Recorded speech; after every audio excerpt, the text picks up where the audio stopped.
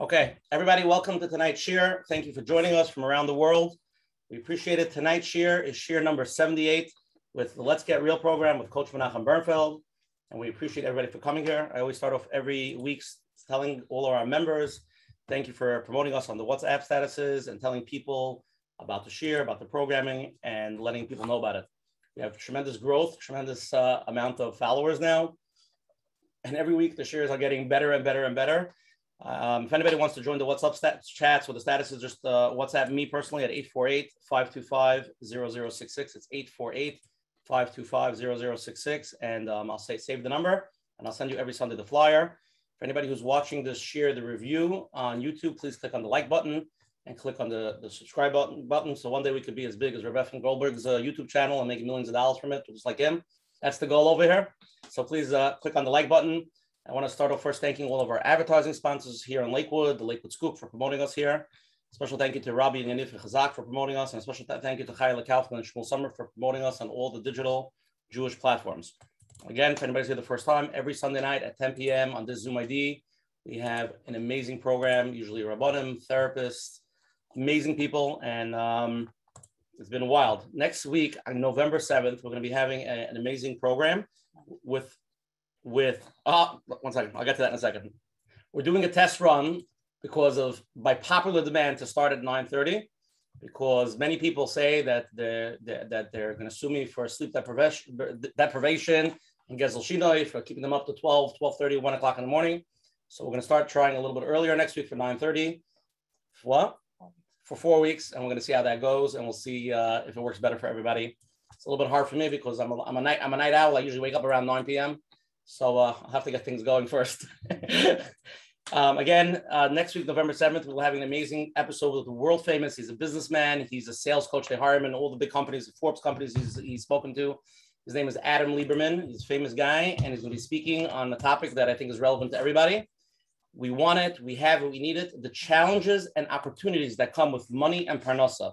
We're going to be discuss, discussing both angles people that are very wealthy, the, ang- the, the, the situations they have to deal with, and like most of us, the struggles of parnasa and just paying our bills, how to deal with that. So please tell everybody about it and try to come next week. It should be amazing. Tonight we have the schus of having with us world famous uh, Rabbi Rabbi Efrem Goldberg from beautiful sunny Boca Raton, Florida.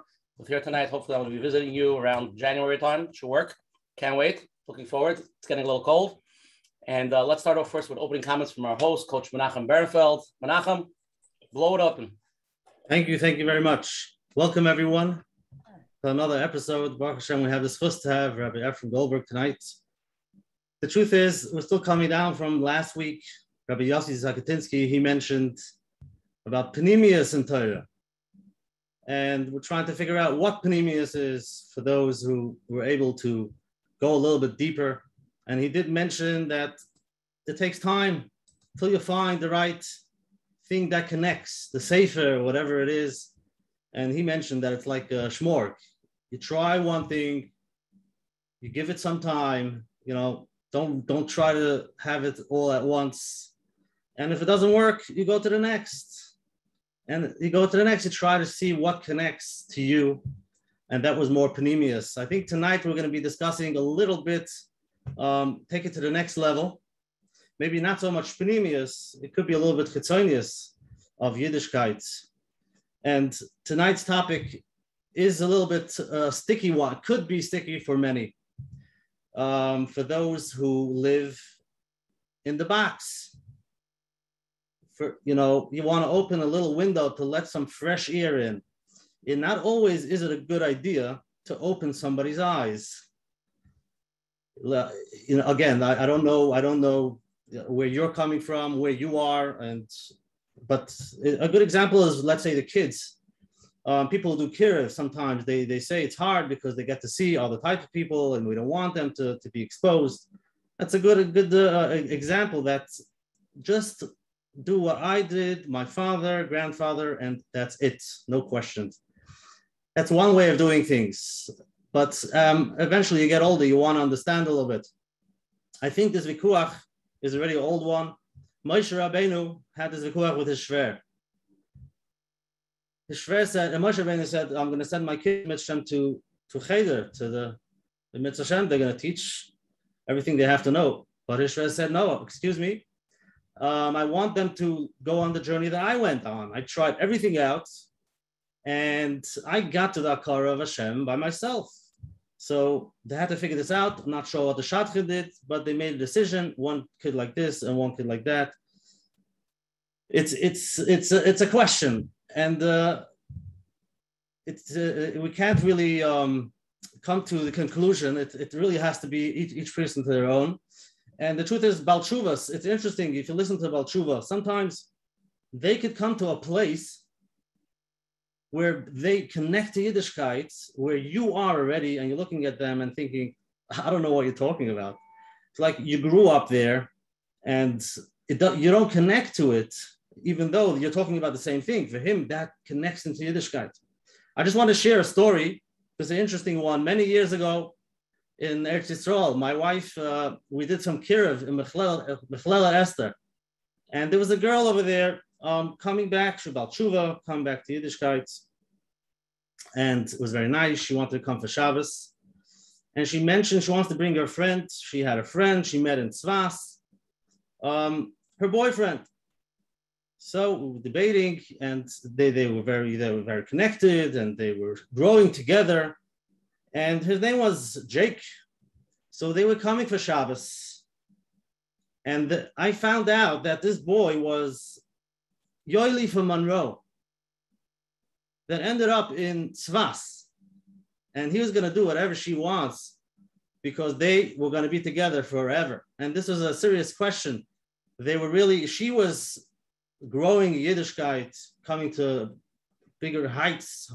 And he was there. Who knows how he got there? And he decided, who knows what. So we had them for Shabbos. And we had Jake over there, and then in the middle of the suit, I told him, Yoli, the Mistome kannst the Yiddish besser wie mich. He's like, you know, coming from Monroe. So yeah, that's true. So again, you have different type of people coming different directions and questions what they're looking for. At the end, they both went on their own way and they got to better places, uh, Baruch Hashem. But to know where we are, what connects, and what works for me. And sometimes I get ideas from other places, and you're not sure if it does work or not. So in Mitzvah tonight, we're going to hear more from Rabbi Efrem Goldberg. I believe this is how he runs his community.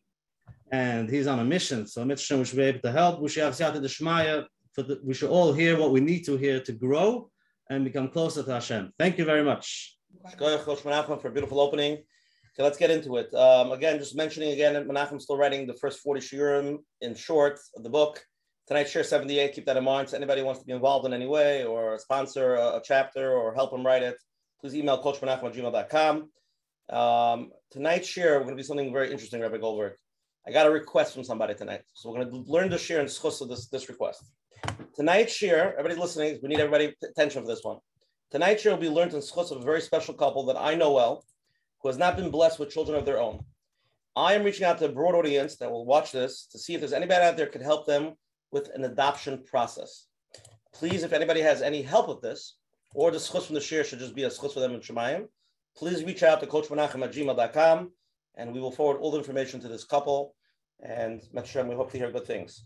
Again, after last week's conversation with Rabbi Yossi Zakatinsky, we were discussing deeper meaning in Yiddishkeit, sort of catapulted it into this topic. So it's like a little bit like we're feeding off each other.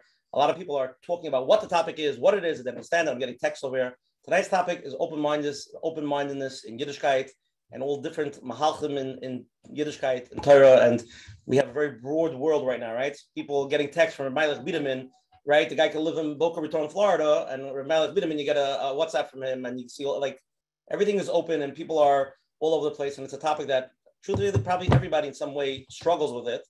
But we want to really bring it to the table tonight. We want to discuss it. It's, it's, it's an interesting topic. And we have the discuss of having uh, Rabbi Efrem Goldberg with us tonight. So I'm going to read Rabbi Efrem's bio. And you'll fix it up whenever I make a mistake, and then he'll go straight to the opening. Rabbi Efrem Goldberg is a senior rabbi at Boca Raton, Florida, BRS, and a rapidly growing congregation of over a thousand family with thousands of children in Boca Raton. BRS is the largest Orthodox synagogue in the Southeast United States. Rabbi Goldberg's warm and welcoming personality has helped attract diverse backgrounds and ages to feel parts the BRS community, reinforcing the BRS Critigo of valuing diversity and celebrating unity. Rabbi Efrem Goldberg, the floor is yours.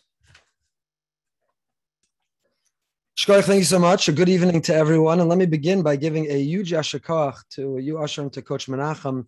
I'm looking out and I see the numbers over 370 people at 10:15 on a Sunday night who are B'nai Aliyah, who are here and watching and participating live for no other reason. I hope it's not to be entertained, but to be inspired and to be informed. And uh, but that's not true tonight. You see this number and you see this crowd. It's really it's inspiring. It's incredible what you've accomplished, what you've achieved to create this worldwide chabura simultaneously, who are united by that desire to grow and to struggle, to confront difficult conversations, conversations that maybe make us a little uncomfortable or challenge us to leave our comfort zone and to explore a little bit more who we are. So I am very uh, indebted to you and humbled by the opportunity to share with you and uh, appreciate appreciate this chance. Let me tell you what this is not.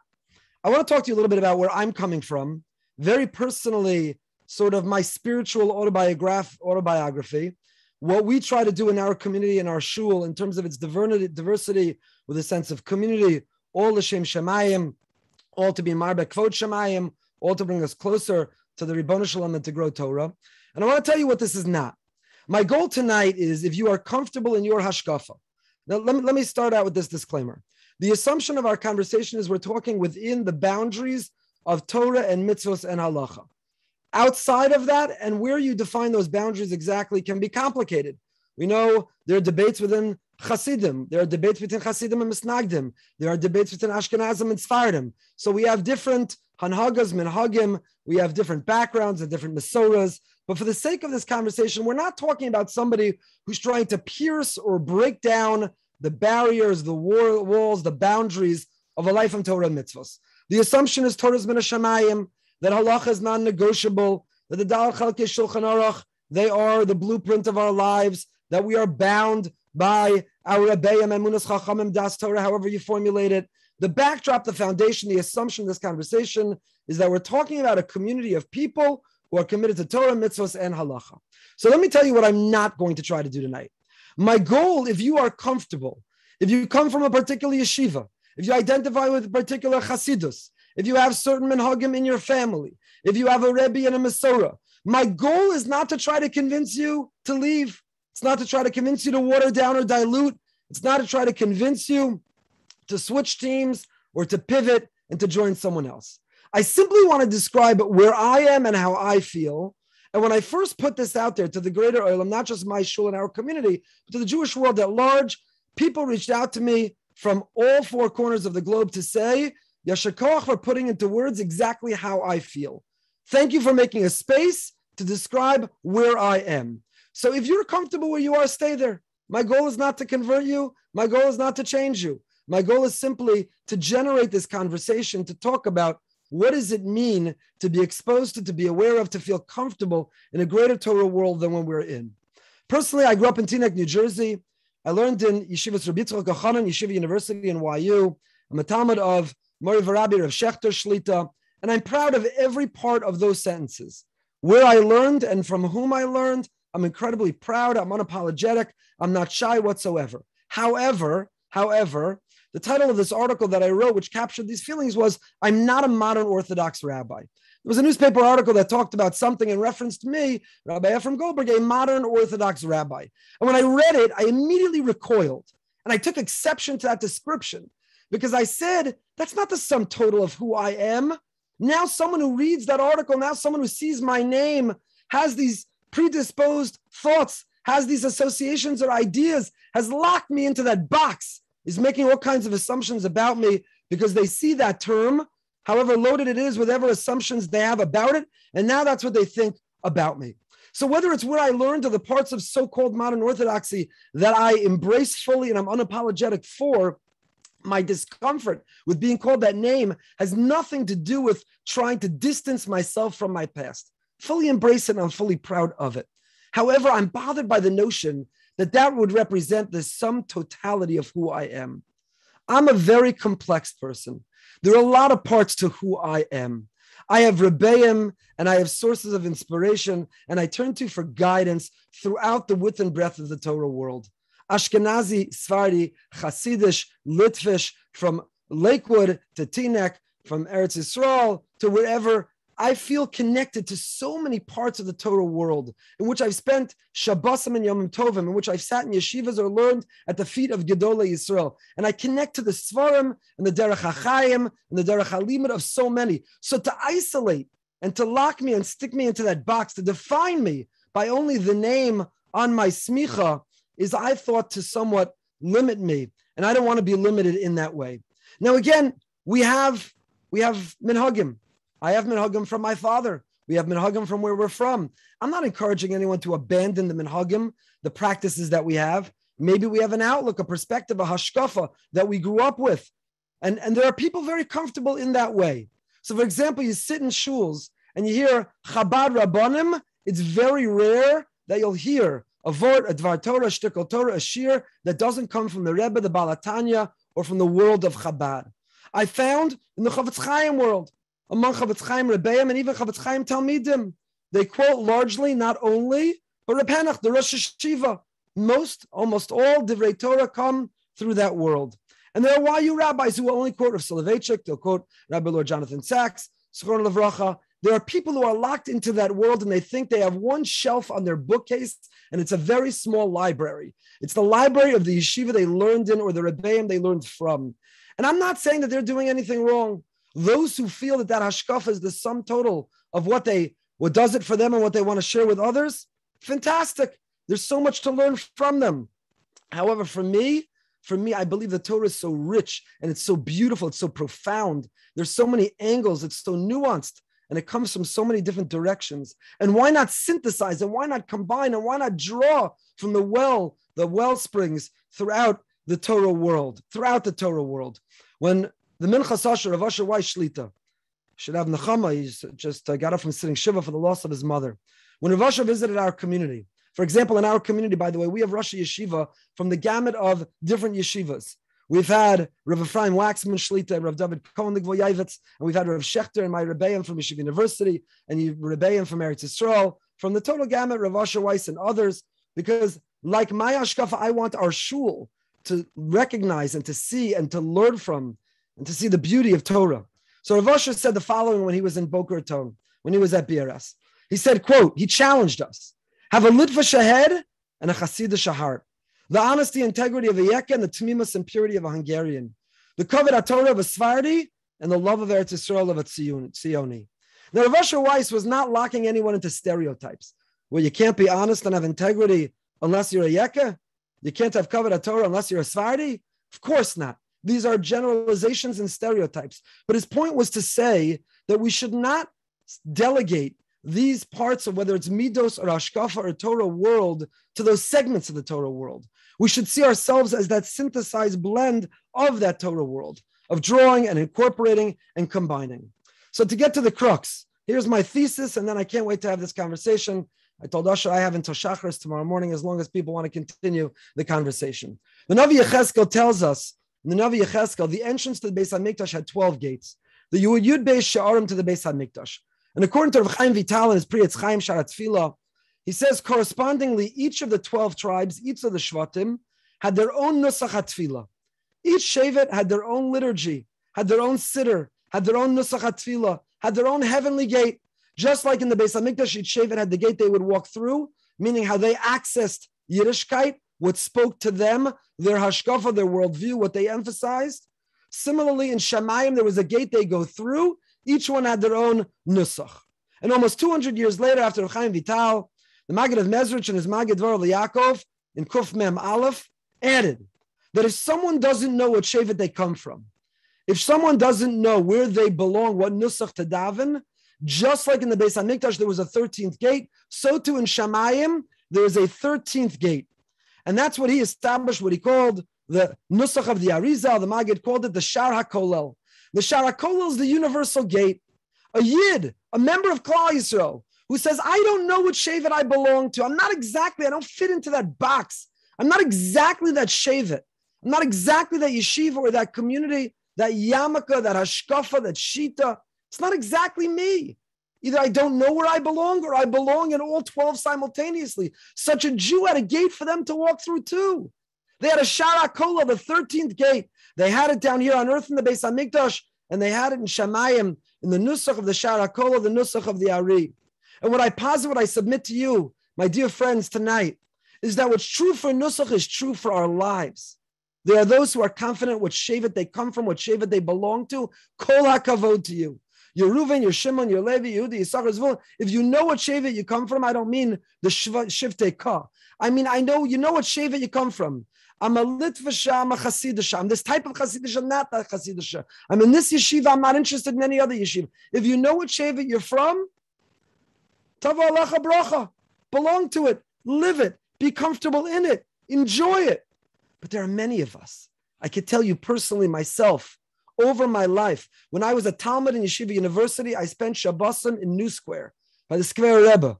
I went three years in a row for Simchas Torah to New Square. I felt a pull, I felt a connection. It provided something for me that I wasn't getting, that I wasn't being inspired by in my yeshiva from my Rebbeim. Not any fault or deficiency of their own, but there are different Shvatim. And so I see myself as a member of that Shara Kolel. I see myself walking through that 13th gate, feeling comfortable drawing from the different gates around us. And my friends, I don't think I'm the only one. I imagine many of you here tonight, and many of people you know, they may wear a certain yarmulke, or they may cover their head in a certain style. They may send their kids to a certain school. They may fit into a certain mold, the way society wants to label us because it's convenient for society to say you're this, that, or the other thing. You know, on the dating websites today, you fill in on the dating website. What are you? Are you modern Orthodox, right wing modern Orthodox, right wing Chabad? The, the dating sites try to lock you into that hashkafa. But I think there are many who look at that drop down menu and say, I don't know what to answer because I'm a little bit of each. I'm a little bit of them all. I take from it all. I walk through that Shara Kolel. I feel connected to so many parts of Klal Yisrael. And I know this to be a fact. The empirical evidence is undeniable because there are people in Lakewood. I know that Yeshiva University has an incredible Torah site called YU Torah. And when they crunch their data every year, the IP addresses that are consuming countless hours of the YU Rosh Yeshiva and the Torah of YU Musmachim is Lakewood, New Jersey. And if you go to Yeshiva University in Washington Heights and those who identify are Musmachim of YU, how many of them have a Yerach Lamoadim on their shelf? How many are watching the Rebbe Biderman? How many are learning the Swarm of Richard Morgenstern? How many are connecting to other parts of the Torah world? The walls have come crumbling down, and the global from Torah community has access to one another. And we are learning Svarim and listening and watching, whether one minute video clips or the full Shurim. We're able to see and we're able to learn. Mishpacha magazine, Ami magazine, Hamodia, they are exposes, they're giving profiles on the totality of the Torah world. And whereas in the past a person was locked in and you didn't read and you weren't exposed to and you knew nothing about someone from another world, today the cover of those magazines could be a Rosh Yeshiva of Lakewood or YU from Eretz Israel or America, Sfari and Ashkenazi, a Hasidish or Litvisha. The worlds have come crumbling down. I had a Rebbe in Eretz Israel and Karen Biabner, a Blachman, who used to say, he used to say, you can put me in a box when I'm dead. Until then, don't try to make me feel, fit me into one of your labels. You'll put me in a dot box when I'm dead. Until then, don't try to label me because it'll be more comfortable for you. We're living in a time that it's more comfortable. People want to label one another. I, I need to know how to see you. I want to know how to judge you. I need to know how to evaluate you. Are you one of mine or are you the other? Where do you fit in? By the way, when such a person meets someone who's complicated, complex, nuanced, it throws them for an enormous loop. They don't know what to do with them. I don't know where to put you. You are a Talmud you have your Shemayim, but you also are connected to that. You, you're knowledgeable and you're exposed to this, but you also, they don't know what to do with it. They don't know what to do with it. And so if other people feel comfortable in this world, that is my thesis. That is a description of who I am and where I am in my life. And I could give you many more examples of trying to drink from the well springs of Torah, of the Shivim Panim Torah, the diversity of Torah. But there's a lot of uh, opportunity for conversation. And Hashem, in that context, I'm happy to share a lot more of why do I believe in this? Why do I believe it's okay to believe in this? What are the Makoras? What are the sources? that a Jew is allowed to see themselves in the Shara Kolol, that you don't have to work tirelessly to belong to only one Shevet and lock yourself in. Why are you allowed to? Again, all within the framework of a Torah world, not breaking through barriers outside of Torah. The assumption of this whole conversation, Torah, mitzvos, halacha is binding, non negotiable. Efrem, beautiful opening. Let's get into it. Okay, we're going to take a little poll. We can take a minute break. Rabbi Goldberg, I know you start off with the passion. Let's let's go. Take a drink. Here we go. Amen. Okay, we're going to ask everybody this poll. Everybody, you see it on the screen.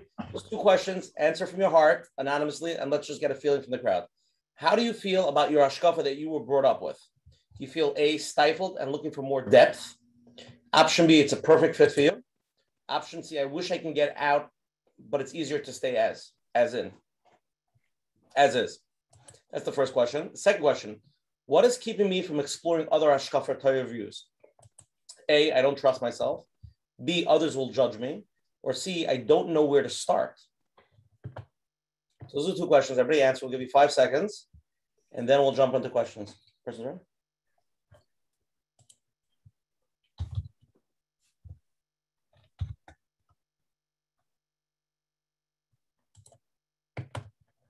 Okay, let's share the poll with everybody. Then we'll jump into questions. Here we go.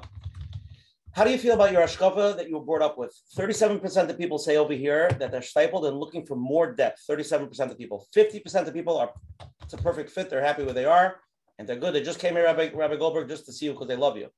And 30% of people, I wish I can get out, but it's easier for me to stay where I am. Number two, what is keeping me from exploring other ashkafas? 10% of people say I don't trust myself. 35% of people say others will judge me and 56% of people say, I don't know where to start. Okay, let's X this out. Okay. Okay. Let's start with the first live question, and then we will let the night going. Everybody, it was have Efrem here from Boca Raton, Florida. If anybody has a question that they want to ask, please, he's here to answer. Go. First of all, thank you so much for the introduction, and I really enjoy your Living with Amina series that I follow from New York.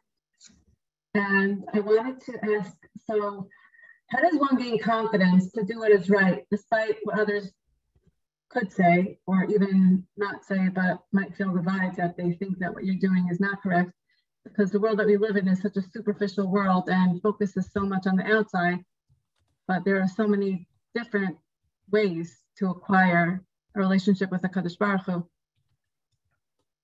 It's a great question. Rabbi Goldberg, you heard the question clearly? I think I heard the question clearly, which is that it's a very superficial world. It's a judgmental world. And uh, how can a person know what to do or where to go or what to look or how to open themselves up to other opportunities? Because uh, there's a fear. There's a fear. First of all, there's a fear people don't trust themselves. And there's a fear that um, there's a fear that others will judge us. It could impact our children's shidduchim. It could impact whether they get into the yeshivas seminaries. It could impact so many things. So we're living in that position of fear. So it's a fantastic question. So let me say this. First of all, the Ribbon Shalom made you a Tzelem Elokim. He gave you an intuition and an instinct. He gave you an intellect and he gave you a curiosity. And he wants you to go discover him. Avram Avinu found the Ribbon Shalom. We are the Talmidim of Avram Avinu. We are the progeny, the children of Avram Avinu. And we're also on a journey of finding ourselves. Machovas Ha'adam Ba'olam, the Mesilas Yesharim begins. A person should ask himself, what is my duty? What is my obligation? Where is my place in the world to be makiris makomo? Who am I and what is my place and what difference am I meant to make? So the fish, superficial world we look, live in, it tries to fit us in these narrow box. And then we end up competing with one another. We end up trying to um, trying to imitate one another. But our mission is to be who we are and who we're meant to be. And who we are, who we're meant to be, includes a process of a journey of discovery. That's the lech lech of Avram Avinu. Avram Avinu is lech lecha go and find you. There wasn't a destination that was offered. There were no coordinates. There was nothing to plug into ways of the GPS. The lech was to go where? Lecha. Slonim Rebbe Nasiv Shalom says that a person who tries to live the life of another person, they say, I'm going to imitate you. I'm going to compete with you. I want to look like you, act like you. I'll have the same job as you. I'll sit in the same committees as you. I'll, I'll keep the same hours in the base medrash as you. I'm going to be exactly like you. That's Slonim Rebbe says that is the definition of avoda zara. It's avoda. My avoda to Hashem is zara. It's foreign to me. It's not me. It's not who I'm meant to be. So the lech lecha, to be on a journey of discovery. Now, again, what I'm saying is not so radical at all. I'm not suggesting switch the type of yarmulke, switch the type of hair covering, switch your children's school or yeshiva. I'm not suggesting radical shifts or changes from where we come from. If a person is comfortable where they come from, if a person is proud, if a person feels inspired, if a person is living a rich Jewish life, then be happy. My point is that there shouldn't have the fear to also be exposed to what else is out there. And we have the gift right now of technology. Now, I might have been afraid to say that, particularly, let's say, to a, a Lakewood Chevra, except that you're all on Zoom right now. Chevra, let's be honest with one another. If you're here right now and you're listening, whether on Zoom or later on YouTube or podcast or whatever device or platform you're listening on, to whatever degree you are embracing technology, you might even be part of a community that tells you that's also in treif and forbidden and Yarav Yavor, but you're here anyway because you're craving, you're hungry, you're searching, you're looking, you're a Ben or a Bas Aliyah, you want to grow, you want to find, you want to discover. So my answer is that without taking enormous risk, without risking the shidduchim of our children, without risking our children getting into these schools, the yeshivas of their choice, a person can grow and learn, whether it's on other platforms or devices like this, to listen, to read, to learn, to be inspired, to experience other segments of the community. You know, when the members of our community who go to Eretz Yisrael after high school for a year, and they ask me, when they say, What should I, what's the most important thing? What do you recommend? What do I need to experience in that year? I say to them, of course, aside from drawing out everything you can from the yeshiva, the seminary that you're in, taking every class and sitting at the feet of every great person and learning every moment. And aside from going to the holy sites of Eretz Yisrael, I always say, try to make the rounds in Eretz Yisrael among diverse communities.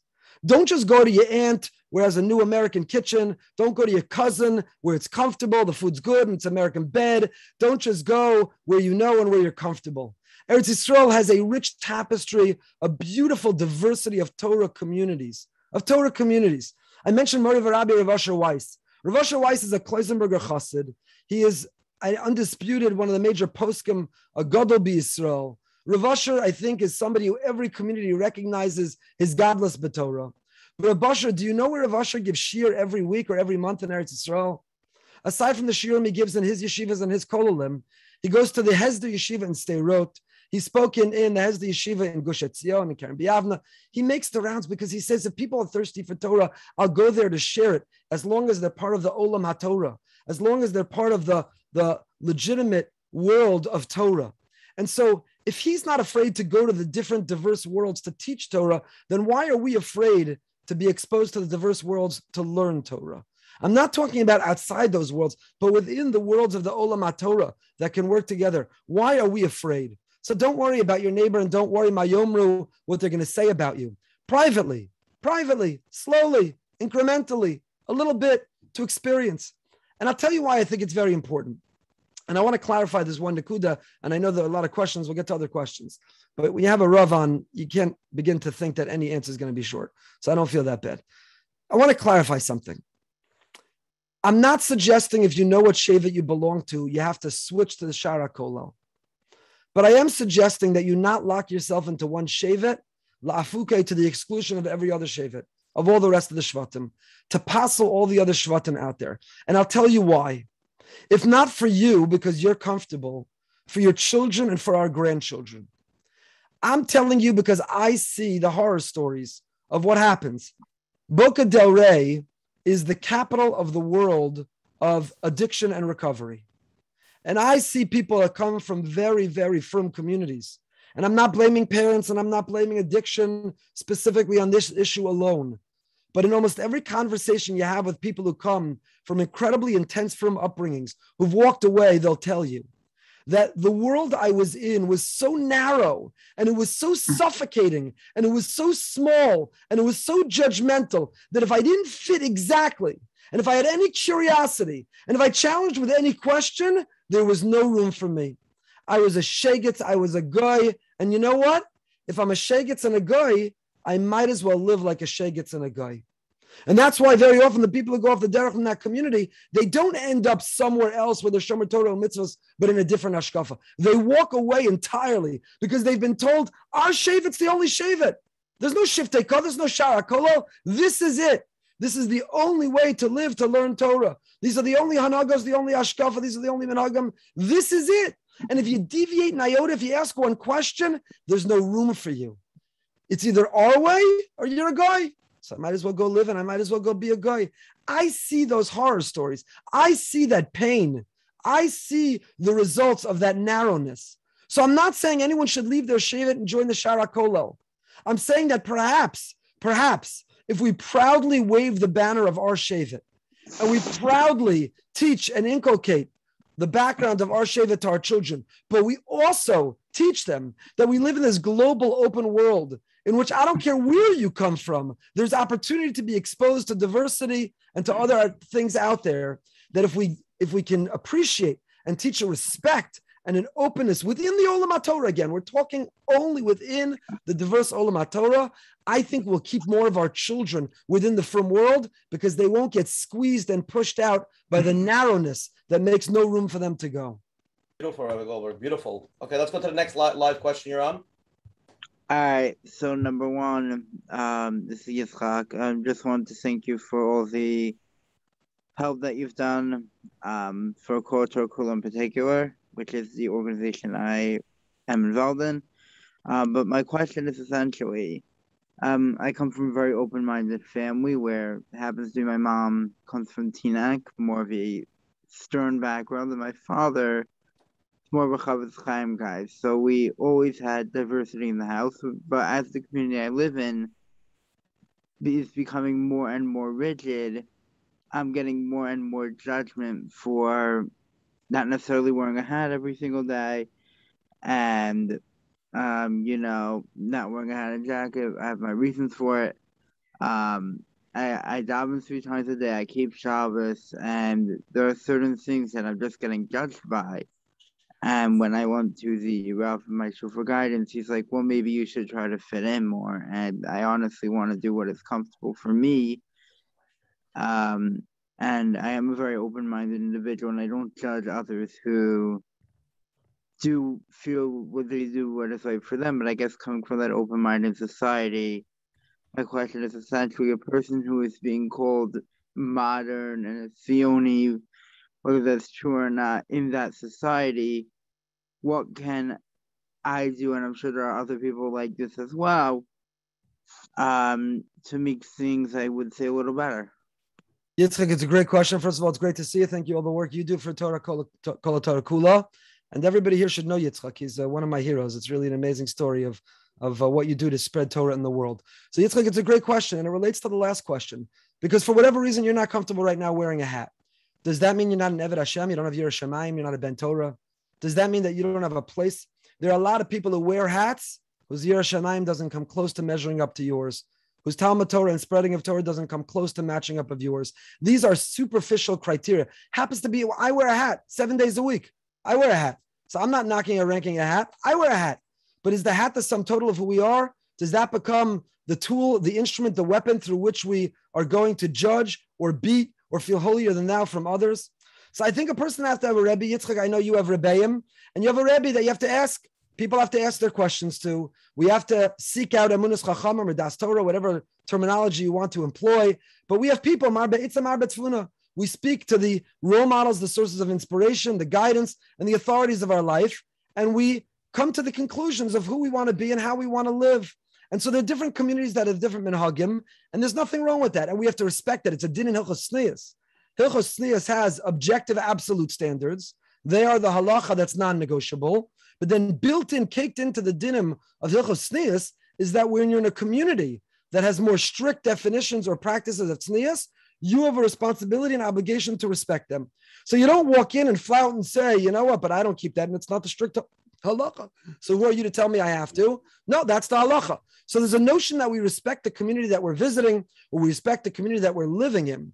But the same token, when we're making the personal decision for ourselves in whatever community we're going to be, we should have some self-confidence. We should have some belief in ourselves, and we should seek the sources of inspiration and guidance around us. And once they've weighed in, to be confident in the conclusion that we reach, proud of who we are, and live our best to be a ben or bas aliyah to live and to grow the most that we can.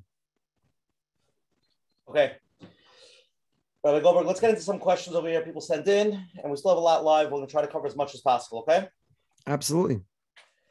Let's start with this. Um,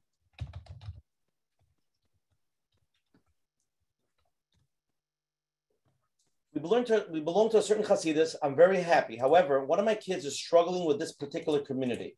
He's not rebellious. He's a frum kid, but it's not acceptable to do things differently here. How do I deal with this with him and with the community?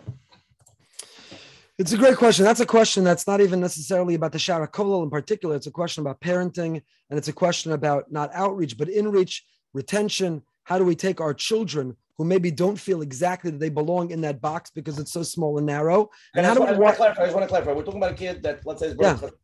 And now he's more wants to be like this, or is more Litvish and now he's becoming Breslov. He's just going into different, not not frum. I understand that. Or within from Kat, he's remaining frum. frum, right. So again, my experience and what my Rebbeim have taught me is all you do is shower that child with love. The child shomer Torah mitzvahs, but that hashkafa or that practice doesn't speak to them. So what's the alternative? To stifle them, suffocate them, keep them in until they're miserable, till you drive them away from frumkeit altogether, or to recognize they want to stay frum. So it's not their way. So it's not their way. I have mishpach in Lakewood, and we know that the, the old school Beis Medrash Govoha, learning Talmud Torah keneged kulam, and they have a child who became a chassid, and they shower him with love. It's beautiful. He's shomer Torah mitzvahs. He learns Torah. He's kaveitim the Torah. What's there to be? This is where we should be uh, upset. This is where we should be um, disappointed. I, I, think that there's no alternative but to shower them with love. You know, we're not in the ghetto anymore. Klal once lived in ghettos, and there was a certain whether it was forced from the outside because the secular world didn't uh, welcome us in, or whether we created a structure that was insular that kept people in. But once upon a time, we were able to keep everybody in check. I'm not even sure that's true, but we like to live in the world of make believe that once upon a time we could.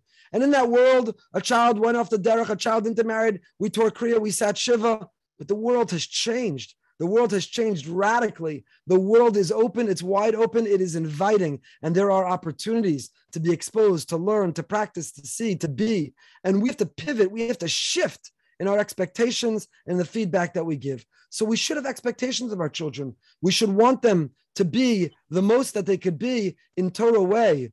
But we should be proud. Yaakov Avinu wasn't proud that he was the father of the Shiftei Kod, the 12 Shvatim.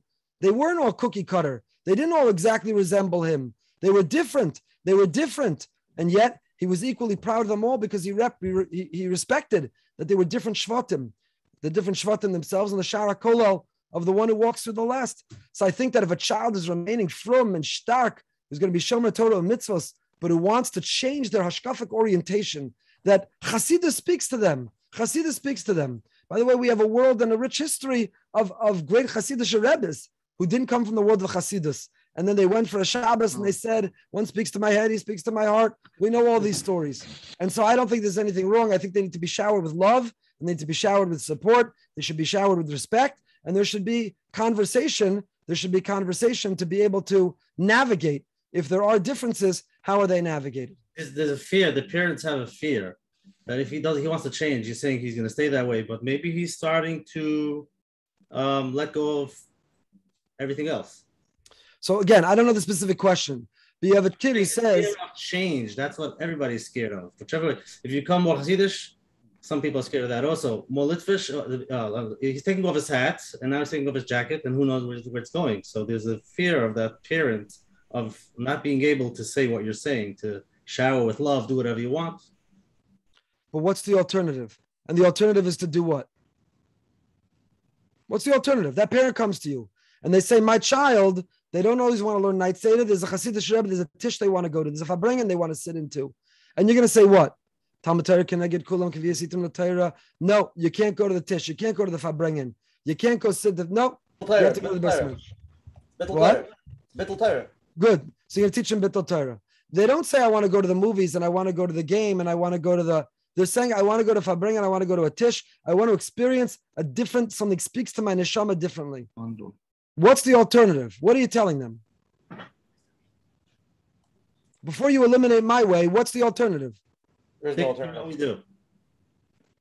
What's the alternative? You say it's beautiful. You're neshama, you're frum, it's, it's, it's, you're a Ben Aliyah that night. It's inspiring you. Fantastic. Tomorrow morning, we resume morning Seder. That's it. What's the alternative? Rabbi, Rabbi Goldberg, let's go right there. Okay, Joseph, let's go. Uh, good evening, Rabbi Goldberg. Um, I am a foreigner. I've been here for five years. Uh, I mean, 20 years. Um, I've tried many times to contact you and never been able to get through. So if this question is somewhat controversial, then I apologize. My, my point is as follows, that Hashkofa drives halacha. Unfortunately, I've been involved in uh, a very difficult divorce. And why am I raising this point? Because the Beth Din of America refuses to ever put into Siruv a woman who's gone to Arkois, whereas in other communities, they follow the halacha. And that to me is a serious problem when Rabbonim in the modern Orthodox community are always siding with the woman, no matter how many uh, virus of Arkois, of Masira, v'chulu they do. Whereas at least in the more yeshivish community, you find pockets that are open-minded. And let me expound on this a little bit more. This is not only just involving Masira and Arkois, it's involving breaking families, parental alienation, and when Joseph, men Joseph, refuse, Joseph, I want to cut you off. let but- me just finish. I'll be one, one, more second, second. one second. One When second. men refuse to give getting because their wives have violated halacha and and um, and and been involved in such serious parental alienation, and the modern Orthodox community always sides with the woman, always puts a siruv on the man. The Beth Din of America has never put a siruv on a, on a woman. Then for you to make this kind of general statement that we should all be in one big tent, I have serious issues with. You started off by saying, Okay, Rabbi Goldberg. Yeah, Joseph, let me let, uh, let me respond in one sentence, Usher, if it's okay. Yeah. First of all, Joseph, I'm so sorry for your pain. I, I hear that there's enormous pain from your experience, and I'm terribly sorry for it. This could be the first time in history that the modern Orthodox world was called, called closed-minded, and the yeshivish world was called open-minded. I don't speak for the modern Orthodox world. I don't speak for the Beth Din of America. I don't speak for your particular incident. All I'll tell you is this: you could find online because I do try to fight for agunas, and I do try to advocate, and I do try to stand up. Every single time I've spoken about that subject, online or offline, and you can test me. I always say it's not always the woman who's in- innocent and the man is the perpetrator. I've been involved in cases where the woman is practicing parental alienation, where the woman is manipulative, where the woman is exploiting, and the husband is the victim who deserves our support. Every single time I say that disclaimer, and that's the way I personally have tried to practice. I can only speak for myself. I don't represent and can't speak for others, but I feel your pain and I'm so sorry for it. There's an interesting question that came in. I was born into ultra Hasidic family from Kiryas Yoel. While I was growing up, it worked, but was very hard. Now, Baruch I'm married and decided to live a more out of town, relaxed lifestyle. I'm getting a lot of negative feedback and as if I'm a bad yid, when re- in reality, I didn't choose to be brought up the way I was, and I'm 100% frum.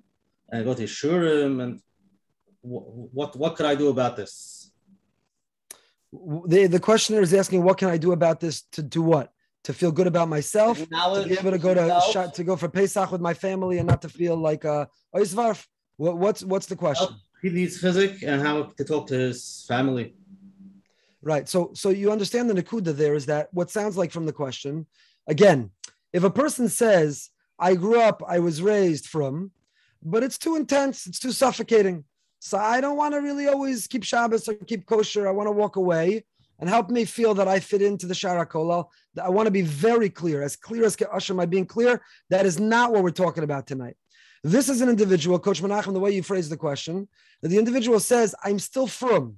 I lived in a community that had a certain mode of dress, a community that had certain culture, a community that had certain assumptions and expectations, and I've pivoted outside that community, but I remain frum. That's the question, right? So essentially, what the person is saying is, I've discovered what's working for me in my relationship with the Ribbon Shalom. However, I'm being made to feel inferior. I'm being made to feel judged by others because I trimmed or because I dress or because I do differently. Still frum Kavit I go to shiur, my daven with a minyan, I keep Allah, you can eat in my home. So the issue here is not the person. They're comfortable and they've found what's working for them. The issue, unfortunately, are others and a world that says this shevet and this shevet only. And you're moved to the Shara Kolel. You're trying to live and draw from others. We're going to sit in judgment of you. We're going to marginalize you. We're going to make you feel inferior and bad about yourself. I don't think the problem in that question is with the one asking the question. The problem is with the other people in their life who are making that feel that way. I'll tell you something about our community.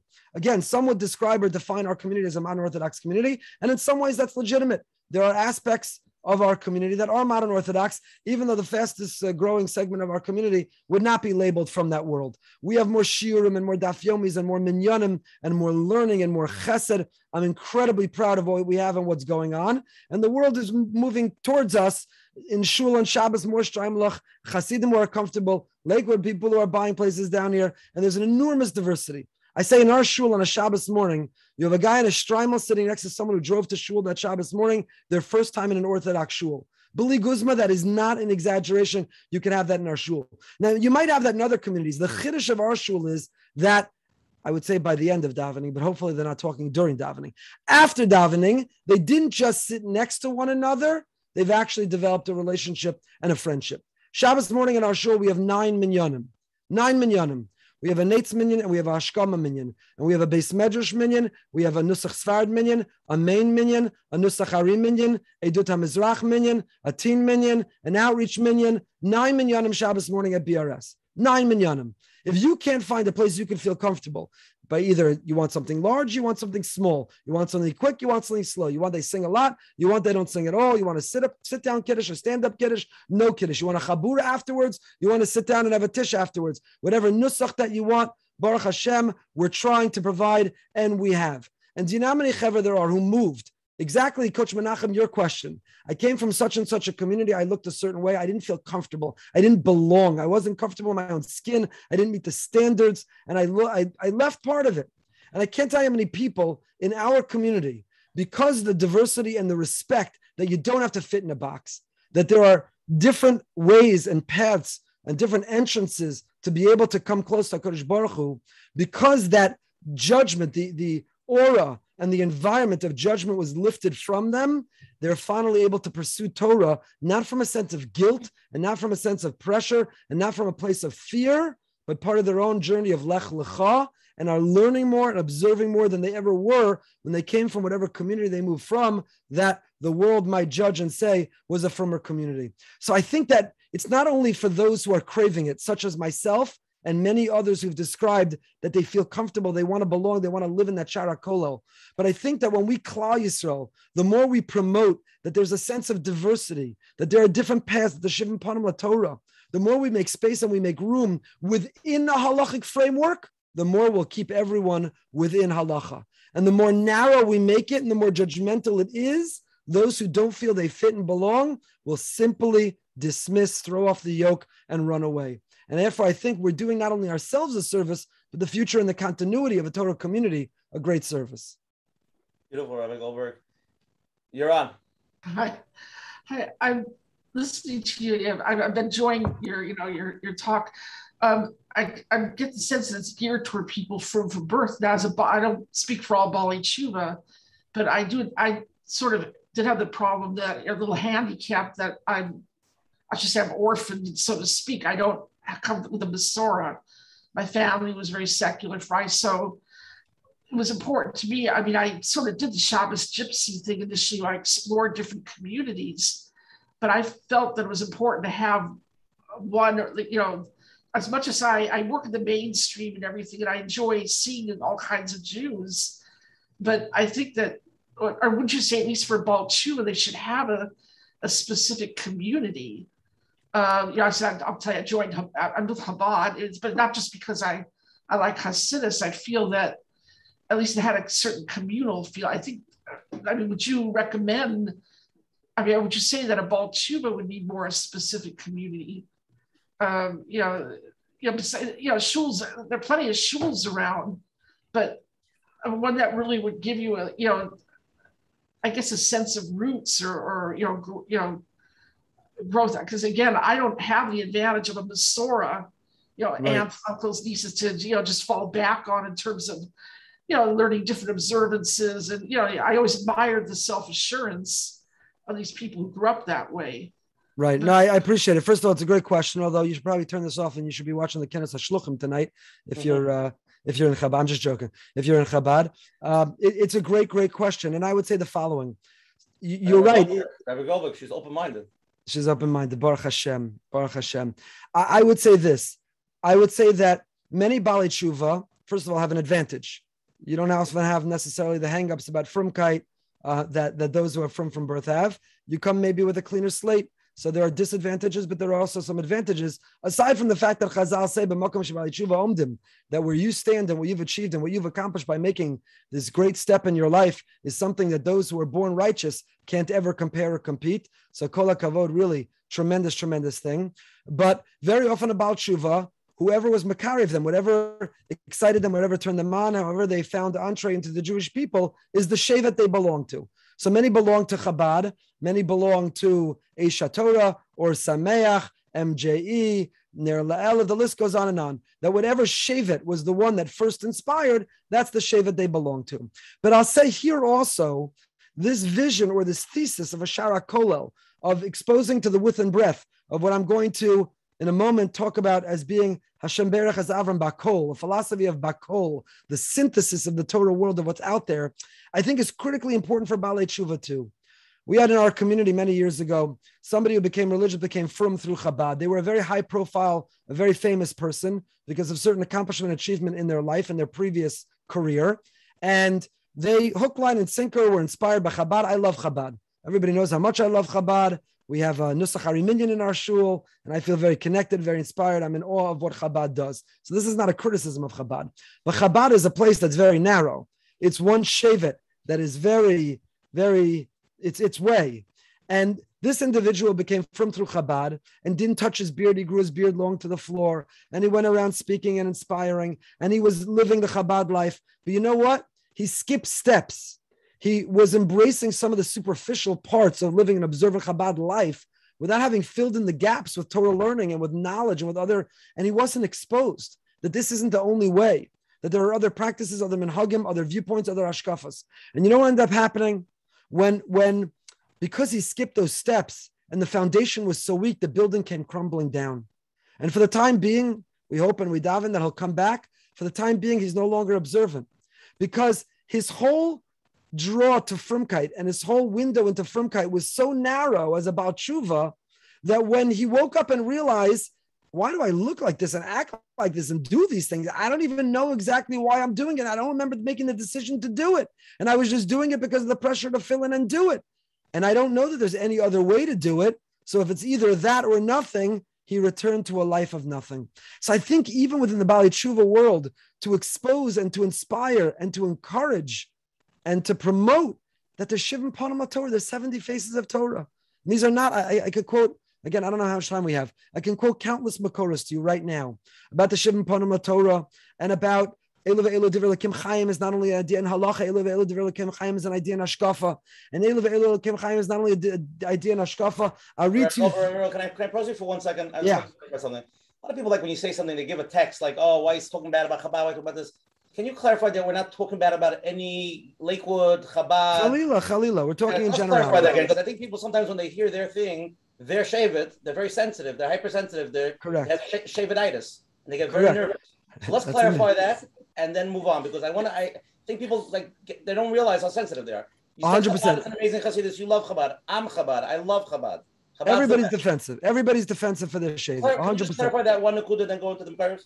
Yeah, yeah, hundred percent. Everybody's defensive, and they should be. We're proud and we're protective of our shavit, and we should be. And nobody should badmouth or judge or feel uh, superior to any particular shavit. So as long as the shvatim are within the rubric under the umbrella, they're part of the world of the Olam Torah, then nobody should be critical of of the other. So I wasn't saying it as a criticism of Chabad or of their methodology of Kiruv. My point is simply that for the Baal Tshuva on the journey themselves, I think it's healthy to be exposed to and to learn. And even us within trying to be Makariv, as we're bringing people in, expose them and teach them and show them the beautiful Olam Torah, not knowing what will speak to whom when, so that maybe when one thing feels a little weak and it's no longer speaking, something else will resonate and it will still go far. So we have Makoras, again, there are countless Makoras, but there are Makoras to this notion that there isn't one authoritative, there isn't one correct, there isn't one categorically uh, imposed hashkafa for all the shvatim, one shevet,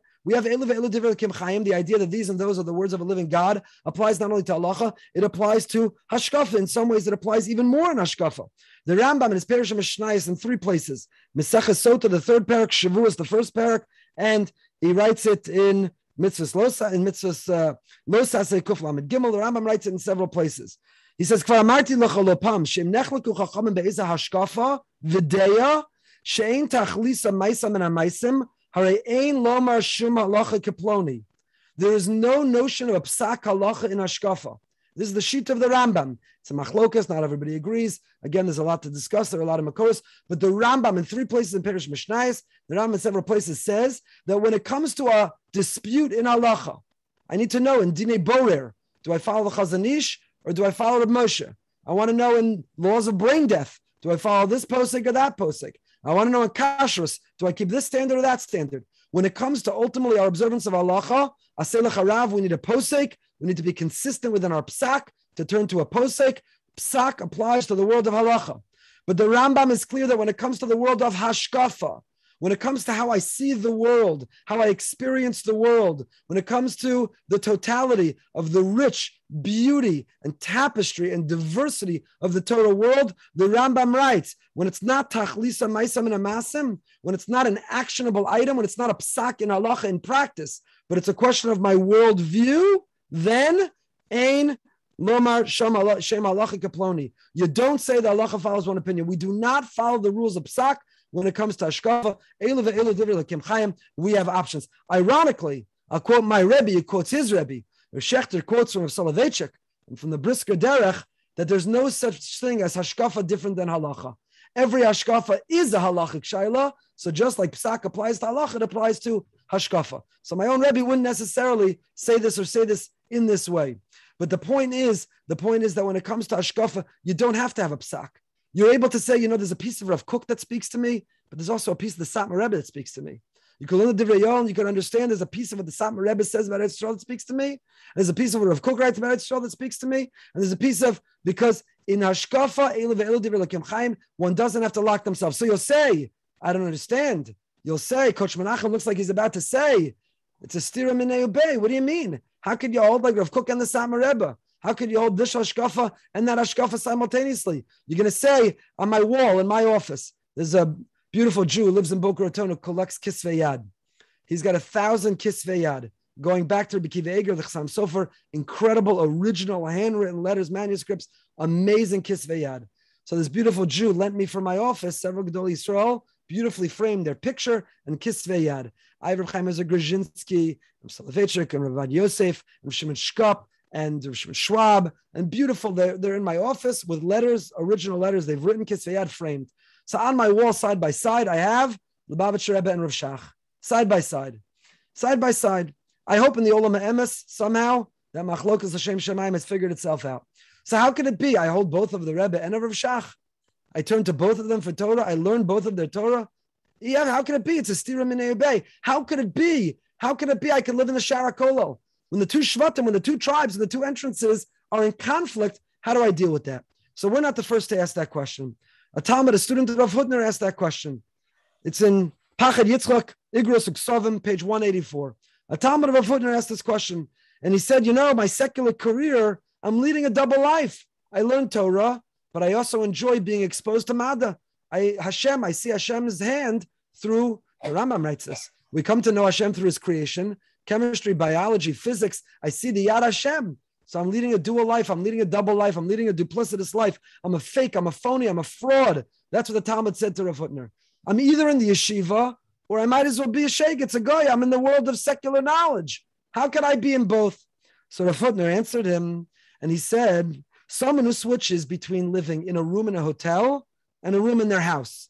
You're living in your house, you're living in a room in a hotel, you're leading a double life. Which is your home? Is it your home or is it the hotel? But a person who rents a house that has many rooms is leading one life. If you synthesize them and you bring them together, and at the core and at the center is Torah, is Hashem, is authentic Torah, then you're leading a synthesized life. You're leading a synthesized life. So my my feeling in my Shara Kolal attitude and life in which on any given day I could be learning a piece from Rav Schachter and a piece from the Minchas Asher and a piece from Meilech and a piece from Vichameyer and drawing from all over. On any given day, I could be learning this Beis Medrash and then going to that tish and then finishing at that farbrengen. That it's not leading a dual life. It's not having multiple personality disorder. It's synthesis. It's integration. We're weaving it into this rich tapestry of living in a Shara Kolel where these things are not contradicting and they're not in conflict with one another, but they're synthesized together. Right, we have a bunch of live, but I want to just jump in. Is what is when they do contradict each other? When you have people that have to daven before Shkia and people that daven three hours after Shkia. How do, how do how does that connect? So when I went to Square for Yontif, so the first time I went, I didn't realize that they were davening Shacharis after the Zman, way after the Zman. So my Masora, from where I come from, that's not acceptable. So the next time I went, I brought a minyan of guys. And with the Rebbe's permission, I found that afterwards. I didn't ask. It was one of those afterwards. I found that he was okay. In Yechidus, he told me it was okay. So I, I went into New Square and I took what I could out of that experience of the vibrancy and the energy and the tish and the tzidkus of the Rebbe and the shirayim and the shalashudus and the lights out and all that I didn't have in my world and didn't have growing up and didn't have in my yeshiva, but it spoke to a very deep part of my neshama and still does. Today I wear a tish in my home, and we have a shalashidus in our shul where we sing this Moldova three times, and you did nefesh and ka'echsof, and the lights are out. And then there's a shir in morning, a chabura in lumdus. These things are not a stira, they're not a contradiction to one another. We can synthesize and we can integrate and we can live, but we still have to stay true to who we are in the world of halacha. So the answer to your question is, as much as I love the world of New Square, but my understanding, I wasn't knocking Chabad. I'm not knocking New Square. My understanding of the halacha doesn't allow davening in those zmanim. So I was still makbet to daven my zman while still being able to live and draw out from that beauty. Basically, daven b'yichidus. Got it. No, no, I brought a minyan. I brought a minyan. I'm joking. I'm joking. Okay, beautiful. So we have a lot of live questions. Um, let's jump on them. You're on. Yeah. He's on. Hi. Say hello. You're muted. CD? Obviously, that yep. thing doesn't work. Try again. Okay, go. I put him to sleep. No, he's here. He's here. Maybe his, maybe his, his mic is not working. Let's go to the next slide one. Try. Give it a minute. Yeah, hi, how hi. Hi, how are you? Thank you so much for having us. And uh, this, is, this has been amazing. Thank you so much, Rabbi Goldberg. Uh, my question is we're, we're kind of experimenting with this question right now should one live in a community that he doesn't necessarily always agree with and feel comfortable with personally from a hashkafic level? What happens if this community is in a higher madriga that you would like your kids to get to? The question is, is this a stira for the children? Because we're in a community that's a little bit more yeshivish for us, but we know that from our perspective, we want the kids to have just a higher level of learning that we feel for, for our children in this community.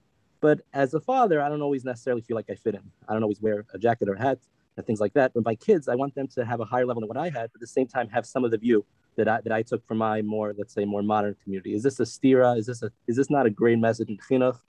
And are we playing with fire? It's a great question. First of all, come with the Boca Raton, but it's a great question, and and I would tell you a, a few things. Number you one, you have to make a tenth minyan though. Um, Mir would be our greatest pleasure. Um, so I'll tell you a few things. Number one, there's absolutely nothing wrong with an aspirational Judaism. There's nothing wrong with faking it till you make it of the life that you want for your children to be better than ourselves. Now, it won't ever happen if we don't live it ourselves.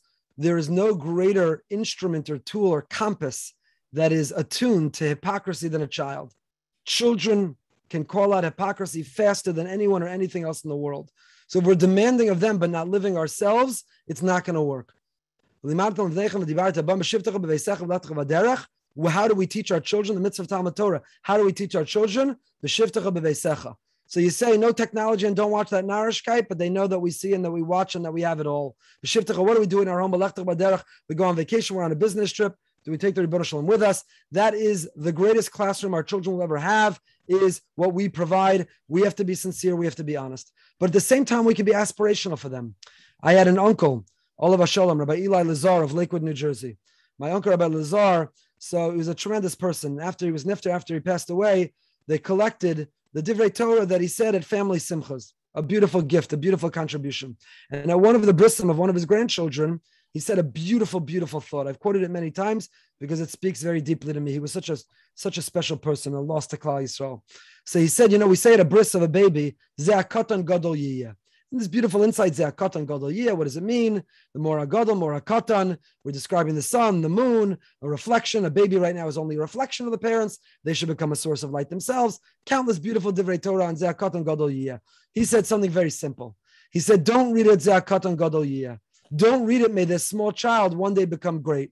He said, read it, Ze'akaton gadol mimeni May this child be greater than me. Because what happens in Frumkeit? You know, we find that in the world of Frumkeit, many people, most people, I see this across the spectrum of the Torah world, they want their children to be exactly like them. Don't come five minutes later to shul than I come, shagets. But don't go five minutes earlier than I go. What are you, holier than now? You should go to shul exactly the time I go, learn exactly the amount I learn, follow the exact tashkachas in kashas that I follow. Many people want their children to be, don't out from me, but Khalila, don't under from me, be exactly where I am. So he said, What are we, what's our brach at a bris? What are we hoping for? Zakatan, Gadol many here. Could there be anything greater in the world than a child surpassing a parent? Rav Lichtenstein Zatzal, the Rosh Hashiva of uh, Har Etzion and Gush, his son of Yitzchak Lichtenstein, who today is the Rosh Hashiva of Torah Vodaas. So he was once uh, at a, a, public forum, and a parent got up and asked Rav Lichtenstein.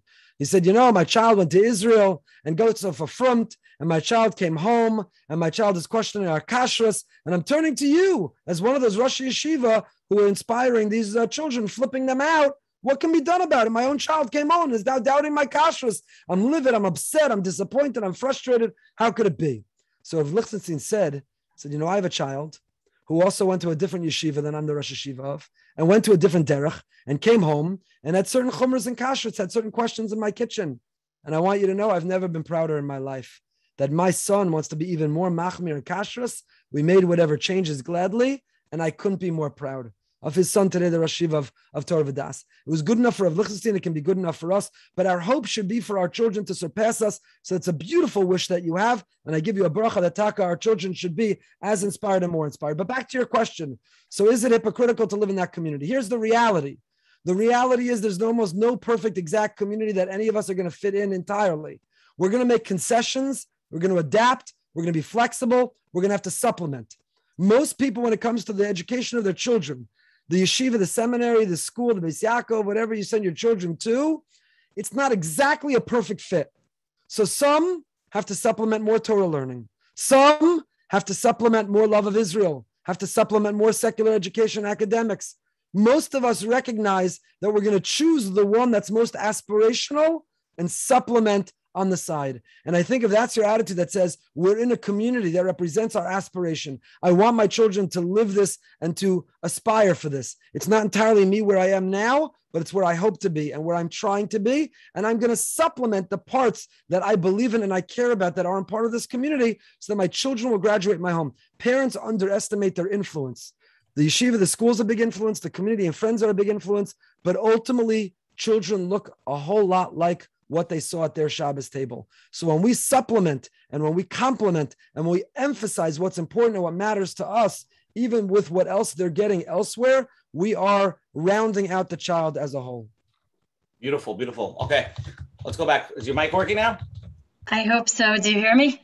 We okay. do. Okay, so as a parent of a few kids still figuring it out, I occasionally bump into other kids around town who look just like my kids looked as they started that winding journey.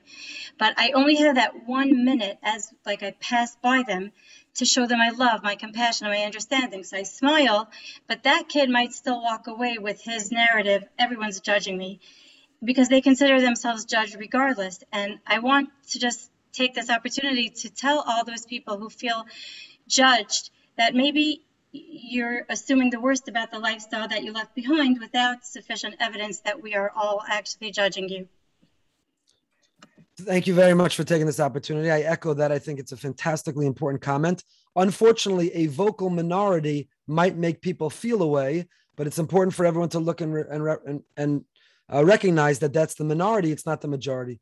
The majority from the totality of the beautiful Torah community are loving and warm and hopefully non judgmental. And unfortunately, sometimes people have a bad experience from uh, the yachid, from the individual. But I think it's a very, very important uh, comment that you made. I'll tell you a great story of Rav Levin. It's one of my favorite stories. A tzaddik in our time, the tzaddik of Yerushalayim, the great tzaddik of Rav Levin. Everyone knows he was the Rav of Nachlaot, beautiful little uh, neighborhood of little alleyways near Machane Yehuda in Yerushalayim. He was the Rav of the prisoners, the Rav of the Etzel and the Lechi. He was the Rav of the lepers. Rav Aryeh Levin was the great tzaddik of Yerushalayim. So there was a boy who grew up in Nachlaot, a very frum boy, a Yerushalmi boy. He grew up very religious. And at some point, he decided to take his yarmulke off. He decided to not be religious anymore. So he avoided Rav Aryeh Levin for many months. Rav Aryeh Levin would walk one way. He went down a different alleyway. Whatever he did, he always looked with a watchful eye to see if the tzaddik was walking so he could avoid him and not have to run into him. But one day, lo and behold, he turned the corner. Punk, there was Rav Aryeh Levin. There was nothing he could do to avoid it. So Rav Aryeh Levin, the great tzaddik, said to this boy who he knew since his bar mitzvah, he said, Tell me, I haven't seen you in so long. I can't help but feel that you're avoiding me. Have I done something to offend you? Have I done something to hurt you? I'm so sorry. How come I haven't seen you? So the boy, very sheepishly, very shy, looking down, ashamed, said, Rebbe, to tell you the truth, you've done nothing. But I'm no longer the person I was when you knew me as a child. I'm no longer wearing a yarmulke. And I was so afraid, so embarrassed, so shy, so ashamed to run into you. So Rav Aryeh Levin said to him the following. He said, Listen to me. I'm a very short man. I can only see what's in your heart. I can't see what's on your head. That's what Rav Aryeh Levin said. Now, did Rav Aryeh Levin not care about Torah and mitzvahs and halacha? Was Rav Aryeh Levin some open-minded, modern, pluralistic? Rav Aryeh Levin was the tzaddik of Yerushalayim. But it was good enough for Rav Aryeh Levin, the tzaddik of Yerushalayim, to turn to this boy and make sure that even though he had walked away, what do you think Rav Aryeh Levin yelled? Shegitz! Did he throw rocks at him? Did he tell him how could you? No, he said to this boy, I'm a very short man. I can't see what's on your head. I can only see what's in your heart. Here's a, another interesting question that came in. Um, my husband is extremely close-minded. He still lives in the 80s. He doesn't get it that chinuch, the chinuch world has changed. How do I explain to him that being open-minded is not a goyish thing? Being open-minded is not a goyish thing. Well, again, you have to define what open-minded means. You have to define what open-minded means. Every time you learn halacha, you're open-minded. No, you only learn the machaber, you also learn the ramah. You learn the Beis Yosef and the Bach, the Taz and the Shach. Pischei Tshuva, you only learn the Moshe, you also learn the Chazon Ish. How do you define open-minded? You only learn Abai or Rava. What, what does it mean, open-minded? Anything different. Okay, so again, Adarabba v'Adarabba. Our whole system of Torah learning is the journey of analyzing different views. Now, there's a system that guides us towards a conclusion of those views when it comes to psak and when it comes to halacha. But our whole experience of Torah learning is to see different views, is to understand different viewpoints. Is we're going to end Sefer Bereshis with the Shiftei Ka. We're not going to end with one definitive Shevet. You know, every generation, there was a Yitzchak and there was a Yishmael. There was a Yaakov and there was an Esav. There was a Yosef and there was a Yehuda, Yosef and his brothers. In fact, there's a parish who says, why didn't Yosef, when he's in Mitzrayim, ever contact his father Yaakov? He rises to the viceroy of Egypt. He could have contacted Yaakov. Why didn't he? So there's an understanding that suggests because all that Yosef did is he looked, he looked at his father, he looked at his grandfather, looked at his great grandfather, and he said, every generation there was the chosen one and the rejected one. I must be the rejected one. I was thrown away. So he didn't even bother reaching out. Of course, that wasn't the case. Yosef was Yosef, and the reunion was, was unbelievable. But the Shvatim, the different Shvatim represents the fact that we have these different viewpoints. There's a beautiful insight of the Emes Yaakov, Rav Yaakov Kamenetsky. I told you I, I have many, many Bikoros, and I'm happy to go there and to share many to share many more. Rav Yaakov Kamenetsky in his Emes Yaakov, he says the following. He says in Sefer Bamidbar, we have the Degolim. We know the camp, the tribes encamped around the Mishkan in the Midbar, and they were to the north, the, the uh, south, the east, and the west. Which tribes were designated to go where? And the tribes, the, the Shvatim, they weren't just arbitrary. Every Shevet had a logo. Every Shevet had an insignia. Every Shevet had an identity. Every Shevet had an individuality. There were times in Jewish history the Shvatim weren't allowed to marry into one another. The Shvatim were separate, they were distinct, they were apart from one another. So the question of Yaakov asks is, I don't understand. In the Midbar, you have the Shvatim. So how come there wasn't tremendous purity in Klal Yisrael? How come there wasn't enormous machlokas in Klal Yisrael? How did they all get along? How did they work it out? He writes, in Azekanim, he said, Ashwatim, as God, Acharuvim, Shimon,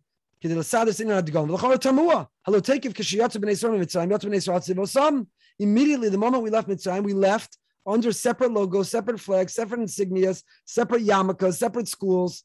So I don't understand. How does it not create a sense of period alavavos? Be'emes in adgon l'choru period alavavos. Zevade shekotzeva yesh ba'eza sema miyuchad. הציורים שהיו בו, כל רגע ודגל, דגל ודגל, זה ציין כל שבט ושבט יש תכונו שאיפה מיוחדס.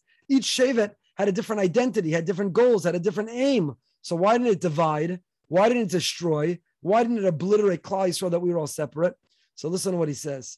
He says, "Nimtza ki lechora hadgalam garma lepira halavavos mikeven shahaya lekula merkaz echad hainu hamishkan kulanu chona misaviv lamishkan ein ze goram lepirud ala kol echad omer al mishmartam yuchedes lo ve'ein kan shem pirud." You know why there was no division? You know why there was no machlokus? You know why there was no fallout? Because at the center of the encampment sat the Mishkan. As long as the Mishkan is the center of our diversity, we have a tagline in our shul. The tagline of our shul is valuing diversity, celebrating unity. How did we arrive at that tagline? From the Semes Yankov. Rav Yaakov Kamenetsky authored our tagline. He'll never know it. Now he knows it. But he authored our tagline. What does it mean, valuing diversity? You know, we use that term diversity diversity. It's a terrible term. We tolerate diversity. We tolerate diversity.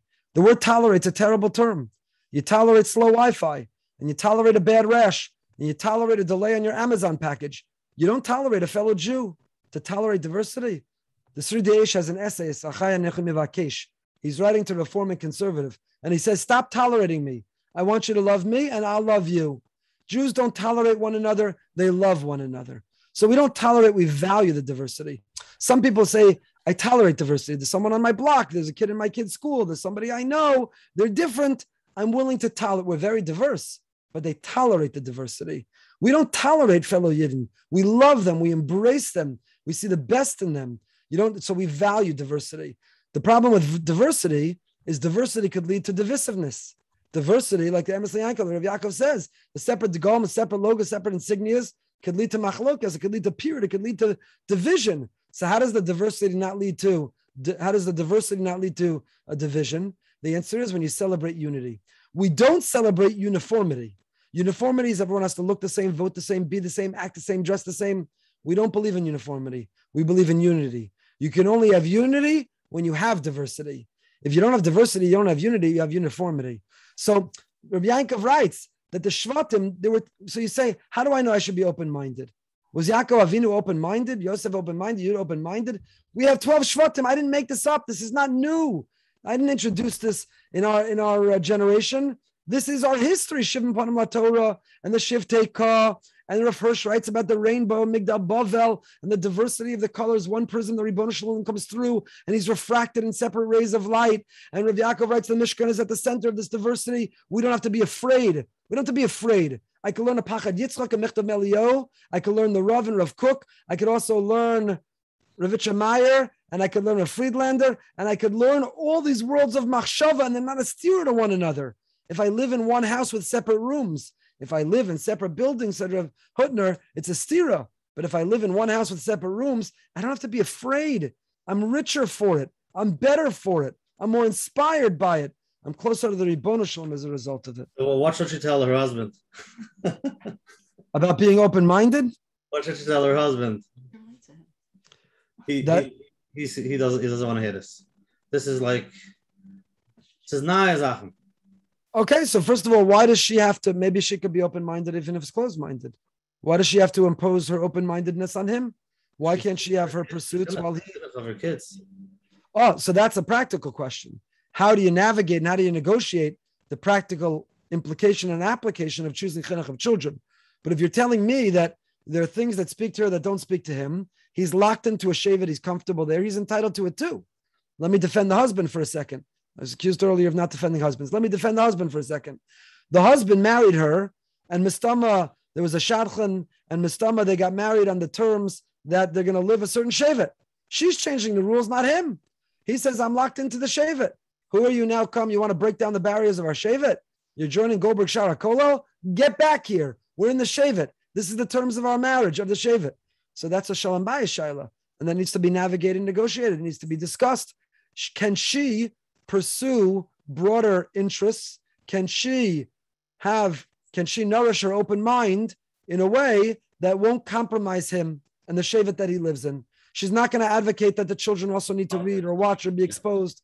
She's going to let the children be the children, let the children live in the Shevet, even while for herself and her own avoda, she feels she wants to see more. Very good. I will not be up much longer. Got it.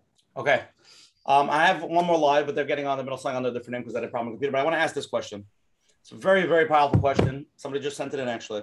How do you teach children growing up in their in a community that branches of Jewish world have something special and unique about them, while we choose to live in, in insular communities for certain spiritual advantages? You didn't look that look more modern may have certain strengths in specific areas that we don't. So, for example, somebody lives in this thing. We raise our children in this little bubble, but yet, we're, how do they know that that the Yid in Boca, Boca Raton, there's a Rabbi Goldberger, who's a nice Choshva Yid and has so many miles that we don't have, vice versa?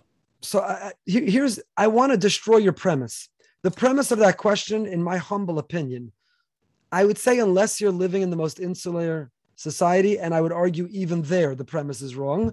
But certainly, if you're outside the most insular society, the premise of the question is wrong. We're not protecting our children and we're not insulated. That's what I find to be kind of the joke of the whole conversation, as if I'm saying a chiddush or something radical.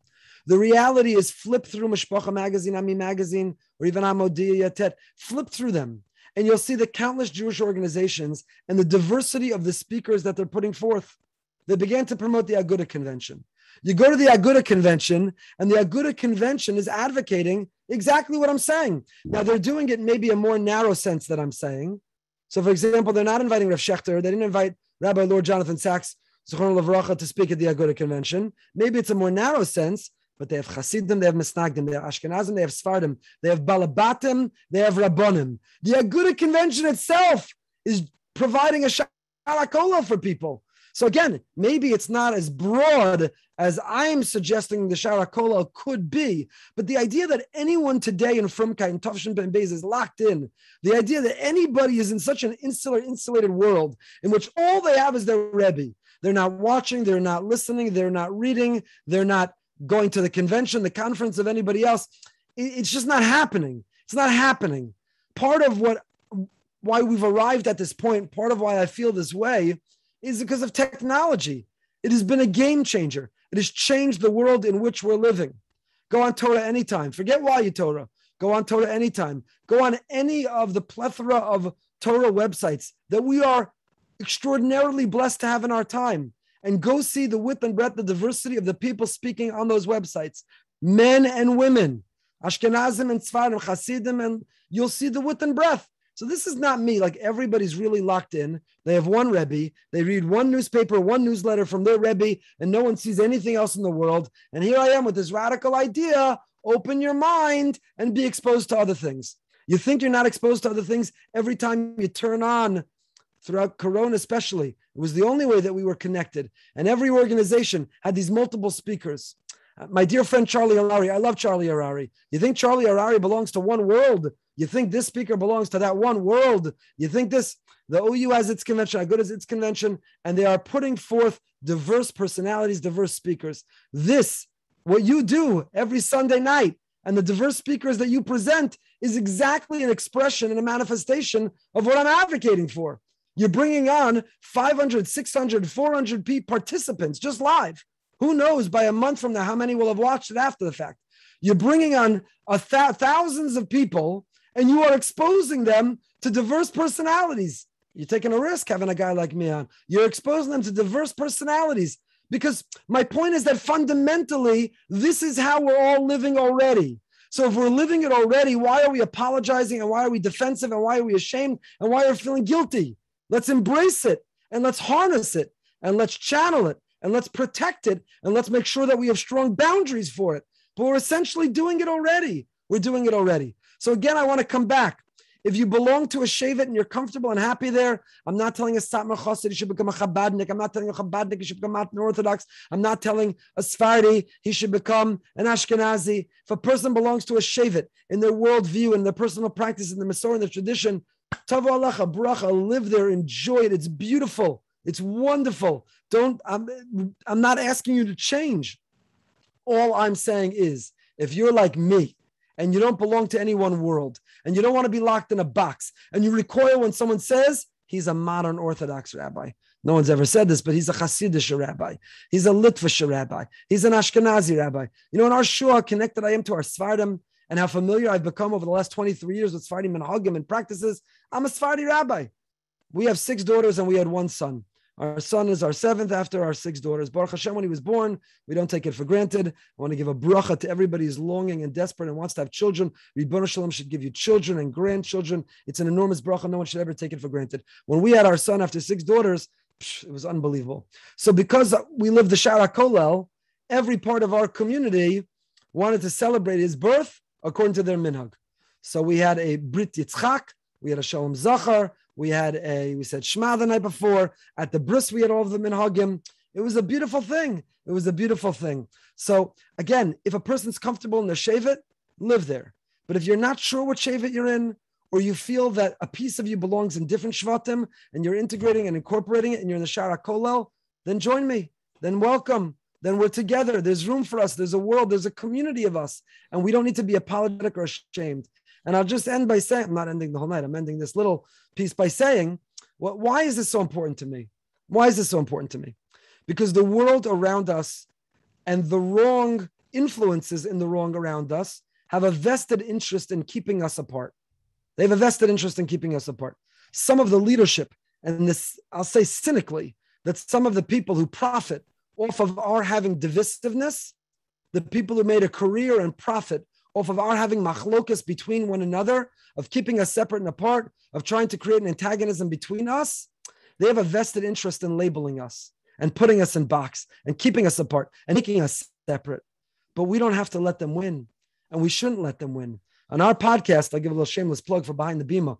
On our podcast, we had Eli Paley, the founder of Mishpacha magazine, and he spoke about part of the, the Mishpacha magazine is to create social change that people did not know you know, if you're part of one world, you didn't read about Gedolim of another world. You weren't exposed to the Shivim Panim of gadlus in Torah. And there's social chain introduction, opening people's mind that he has achieved and that he wanted to do and that he wanted to do. So there are forces that are opposed and working against what I am advocating. They want to keep us separate. They want to keep us apart. They want to keep us locked in. They want to say you're a YU guy, you're a Chafetz Chaim guy, you're a Lakewood guy. You're, they want us to be apart, but we don't have to let them separate us. We can transcend and rise above it, and we can say, I'm part of it all. I've sat in the different shiurim and I learned the different svarim, and I connect to it all unapologetically and with pride, and I'm better and I'm richer for it. I think this is the vision of Avram Avinu. It says in last week's parsha, Avram Zakim Baba Yamim Hashem Avram Bakol. What does it mean Hashem Be'erachas Avram Bakol? So there was a certain worldview. The Ibn Ezra says Bakol means he was Baruch V'yamim Ba'osher, the Kavod Ubanim. Avram had Allah brachas that a person could have. That's not true because right after he was blessed with everything, he goes to look for a wife for Yitzchak. So obviously he didn't have everything. So what does it mean that he had everything? So there's a beautiful, beautiful insight of what it means Hashem Berachas Avram Bakol. Bakol means that Avram had a panoramic perspective. He saw the Ribbon Shalom everywhere. He wasn't threatened and he wasn't defensive and he wasn't scared. For Avram Avinu, there was a panoramic view of the world. And he saw the Ribbon Shalom in everything. He discovered Hashem, he promoted Hashem, and he and he found Hashem in everything. It was with a sense of bakol. Hashem berach Avram. He gave Avram a bracha to live a life in which he didn't have to isolate and we didn't have to lock in and he didn't have to be in a box. Hashem gave Avram a bracha that Hashem berach Avram bakol. It was a panoramic view in which he saw the world and he saw the Ribbon Shalom. You know, we say Malah Haaretz Kinyanecha. The world is filled. So the simple pshat Malah Haaretz Kinyanecha means that Hashem has a kinyan on the whole world. But the Svarim HaKadoshim say, no, Malah Haaretz Kinyanecha. The world is filled with opportunities to make a kinyan in Hashem. Avram, Hashem Berachas Avram Bakol. Avram had this perspective, this panoramic view, this ability, this vision to see Hashem everywhere. But he didn't just have it. He gave it to Yitzchak, who gave it to Yaakov. And that's what we say in our benching, is that we longed for it. We want the kol asher lanu. What is it? Commotion is borcha avasein Avram Yaakov. Bakol mikol kol. With Avram it says bakol. With Yitzchak it says mikol, and with Yaakov it says kol. With Yaakov it says kol. So you see that there's a transmission of the sense of kol. We have the capacity for a panoramic view of the world. We have the capacity to put on glasses that see Hashem everywhere, to make a kinyan of Hashem all around us. Not only with this Rebbe or this Sefer, not only with this Sanhag or this Masorah, but all around us. Hashem Berach is Avon Bakol. And we daven and we long, Bakol, Mikol, Kol. We want that kol. We want that panoramic view. We don't want to see so myopically. If you have a myopic view, you, you're missing so much all around you. But if we have this panoramic view, then you see Hashem, you see the richness of Hashem. I wish I could take my camera right now. I'm at home and show you my my base measures, my study at home, the different svarim that are here, and the diversity of the svarim that are here, and the svarim that I try to learn because I feel I'm, I'm only that much better because of it. Okay, let's go to this live question. You're on. Can't hear you. No, his mic's not working. Yeah. No, he's not. Yeah, unmute. Can I Unmute it. Okay, how was that? Much better. Okay. Thank you so much for taking my question. I want to thank the hosts. I want to thank um, Rabbi Goldberg. Uh, unbelievable words and um, very, very uh, exciting, and the delivery and answer of all your questions. And thank thank the listeners as well uh, for the opportunity to ask this question. Um, my question has to do with um, where we know halachas uh, or minhag zutaira. So, like a kippah, we know at one point in time it was a minhag, and we know stories where people were moser nefesh and literally gave up their lives in some cases to make sure that they wore a kippah. Their story after story. Um, it's a practical question, but I, am I'm in between two uh, two mountains, which is often where I find myself. I think that's like the the place of a yid, right? We went through Yitzias Mitzrayim, we went on Yam Suf, we had over here, we had over here, we have a derech in the middle that we're trying to transverse to fr- find the middle path. So that's the spirit of my question here. Um, I heard something, you know, the Nefesh Chaim says that some people think there are there are there are kahilas that think that Dvekis, and we know from David Melech, that Tehillim is, he asked it, that Tehillim is Dvekis. And the Nefesh Chaim says, says not like that. That's not the Iker Dvekis, right? Um, there's another Misa that, that happened to me. I asked an Alter Mirrer. I was talking to an Alter Mirrer once. He was a Mashgiach in a yeshiva I once learned in. And he said that Rav Wolbe used to go and learn, um, he used to go and learn Sisrei Torah by uh, an Av based in, I think in Petach Tikva, who was a Hasidic Yid. And Rav Wolbe went to go learn. And and this Alter Mirrer went to go ask that. He was very curious about Chassidus and the derech of of Chassidus. And he went to this Av Beis Din and he asked him to teach him the derech Vaida of Chassidus. So what he answered him was like this. Um, he asked him, he asked him, where's your father from? Where's your grandfather from? Lita. Uh, where did he learn? In the mirror. And where did you learn? In the mirror. And he said, so it's not for you. It's not for you. And he said, but why? I'm, I'm very, very interested. I'm open to this. And he said, You'll come out the other side, a chalent with no tam. That's what he said to him. Now, at the same time, I was being invited to go to uh, Uman many, many times, and I just, I was busy. I never went. But this same Alter Mirrer said, I asked him if there's a value to it for me, maybe. And he said, I have to tell you, there's something to hearing a Menya Heshme in front of 10,000 people. You know, there's something special about that. So he, even he had this, you know, there was a duality there. Then, then there's a Misa with Rav Moshe Shapira that you know, he had a daughter who passed away very, very young. And, and with this, I'll end my question. And I heard from a big Talmid Chacham in Yerushalayim named Rav Nassan Weiss that Rav Moshe was struggling with something. He was struggling with how much to him was enough to say for his daughter who was terminally ill before it became Bittul Torah. So that's a huge, huge madrega. That's I mean, I get chills every time I I tell that story. I certainly feel the same chills from the first time I heard it when halacha and these things, it's not so easy to pluck somebody out of their shevet. You know, there was a Rav in Yerushalayim that told me to learn with a Hasidic Yid who was having some questions, and we learned the Kuzari together secretly. And uh, secretly, we had to learn the Kuzari secretly. And it was beautiful. And we developed a very, very nice, a very, very nice relationship. Um, I certainly had no intention of taking I had no intention of making him into a klal, you know, a, 13th gate yid or anything. I respected where he came from and I respected his questions eye to eye. wh- what what happens when there's you know if a minhag zutaira uh, how easy it is it to, to sort of say you know this 13th gate is great and and it is great i hear the the gadlus coming from you rabbi goldberg and i respect it tremendously uh, it makes me want to come visit boca um, but you know do, do you understand the question sort of in, in between these Uh, yeah, I, let me let me rephrase the question. First of all, thank you so much, Yoshi, for sharing the question and those stories and your svarim and your background. I'm trying to see what I can see- learn about you. see what's in them you should see what's in them yeah, I'm trying. I'm trying to check it out. I'm trying to check it out. Um, you know, it, it, it's a complicated question. You know, Rav Wolbe's grandson just moved to our community in Boca. I'll give a little flex, a little plug. And you know, I was talking to him about his grandfather. He grew up very close to his grandfather. Rav Wolbe had a son who was in the army, and he welcomed him back to his yeshiva in his in his army clothing. Rav Wolbe himself was a very complex person. And Rav Wolbe's own background, which we don't have to get into in terms of at one point Rav Wolbe discovered Yiddishkeit, is in itself a fascinating history and a background. Our Gedolei Yisrael, I don't think we're necessarily, now again, Shivim Panim Legadlus, we have different Gedolei Yisrael who function and conduct themselves differently in different ways as well. But Gedolei Yisrael are not afraid by this. Gedolei Yisrael had extraordinary relationships with one another. The Rav and Rav Hutner and the Rebbe, they were in Berlin, they were in university together, and they, they shared a relationship that went on, a tremendous respect for one another. Our, our, our Gedolim were able to see the gadlus of different worlds. They were respectful. They were respectful. I think this needs to be said that even those who feel comfortable in their Shevet and they're proud of their Shevet and they're happy in their Shevet should minimally maintain a respect for other Shvatim, to not criticize and condemn and put down, to not feel that their Shevet can only be correct if they knock others down. You know, in the Parashas Korach, there are so many miracles. There are four miracles that happen. There are four ways that the Ribbon Shalom Paskins that Moshe and Aaron are the leaders, not Korach Va'adaso. What do I need for? Okay, it's enough. The ground opened up and swallowed them up. Mamish, unparalleled, unprecedented. You had to nach a miracle, nach a miracle, nach a miracle. Do you know what the answer is? There's two ways that you can be higher than someone, either by knocking them down below you, or by your rising up. So until then, the ground had opened up and they fell in.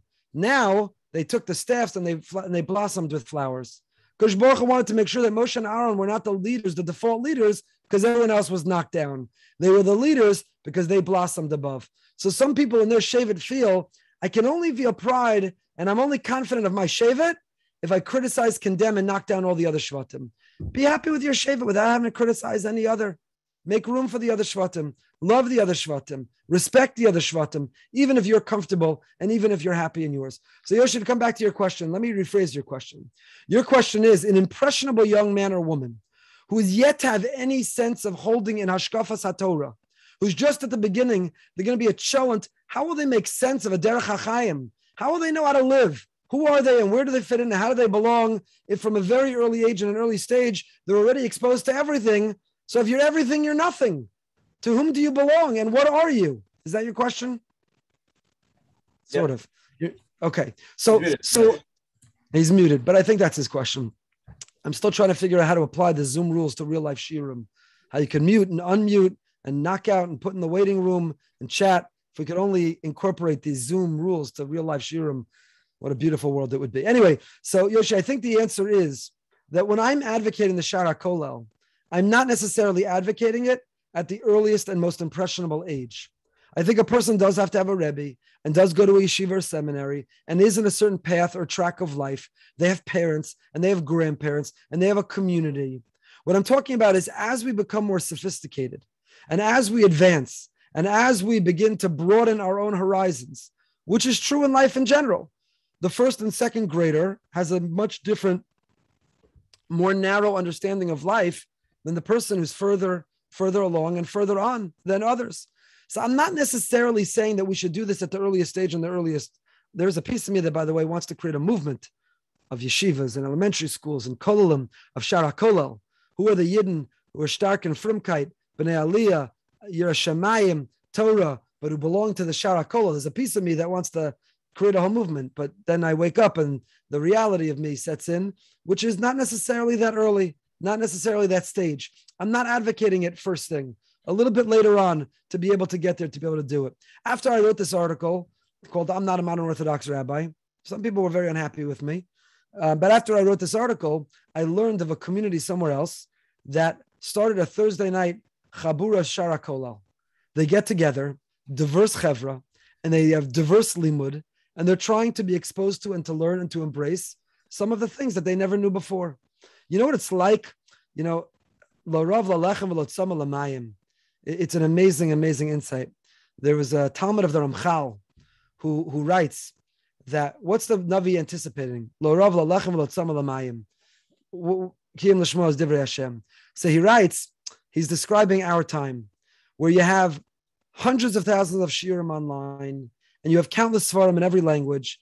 And there's there's endless amount that can nourish us, and yet we're thirsty for divrei Hashem, something that speaks to our neshama, something that speaks to who we are and that wakes us up and that makes us come alive.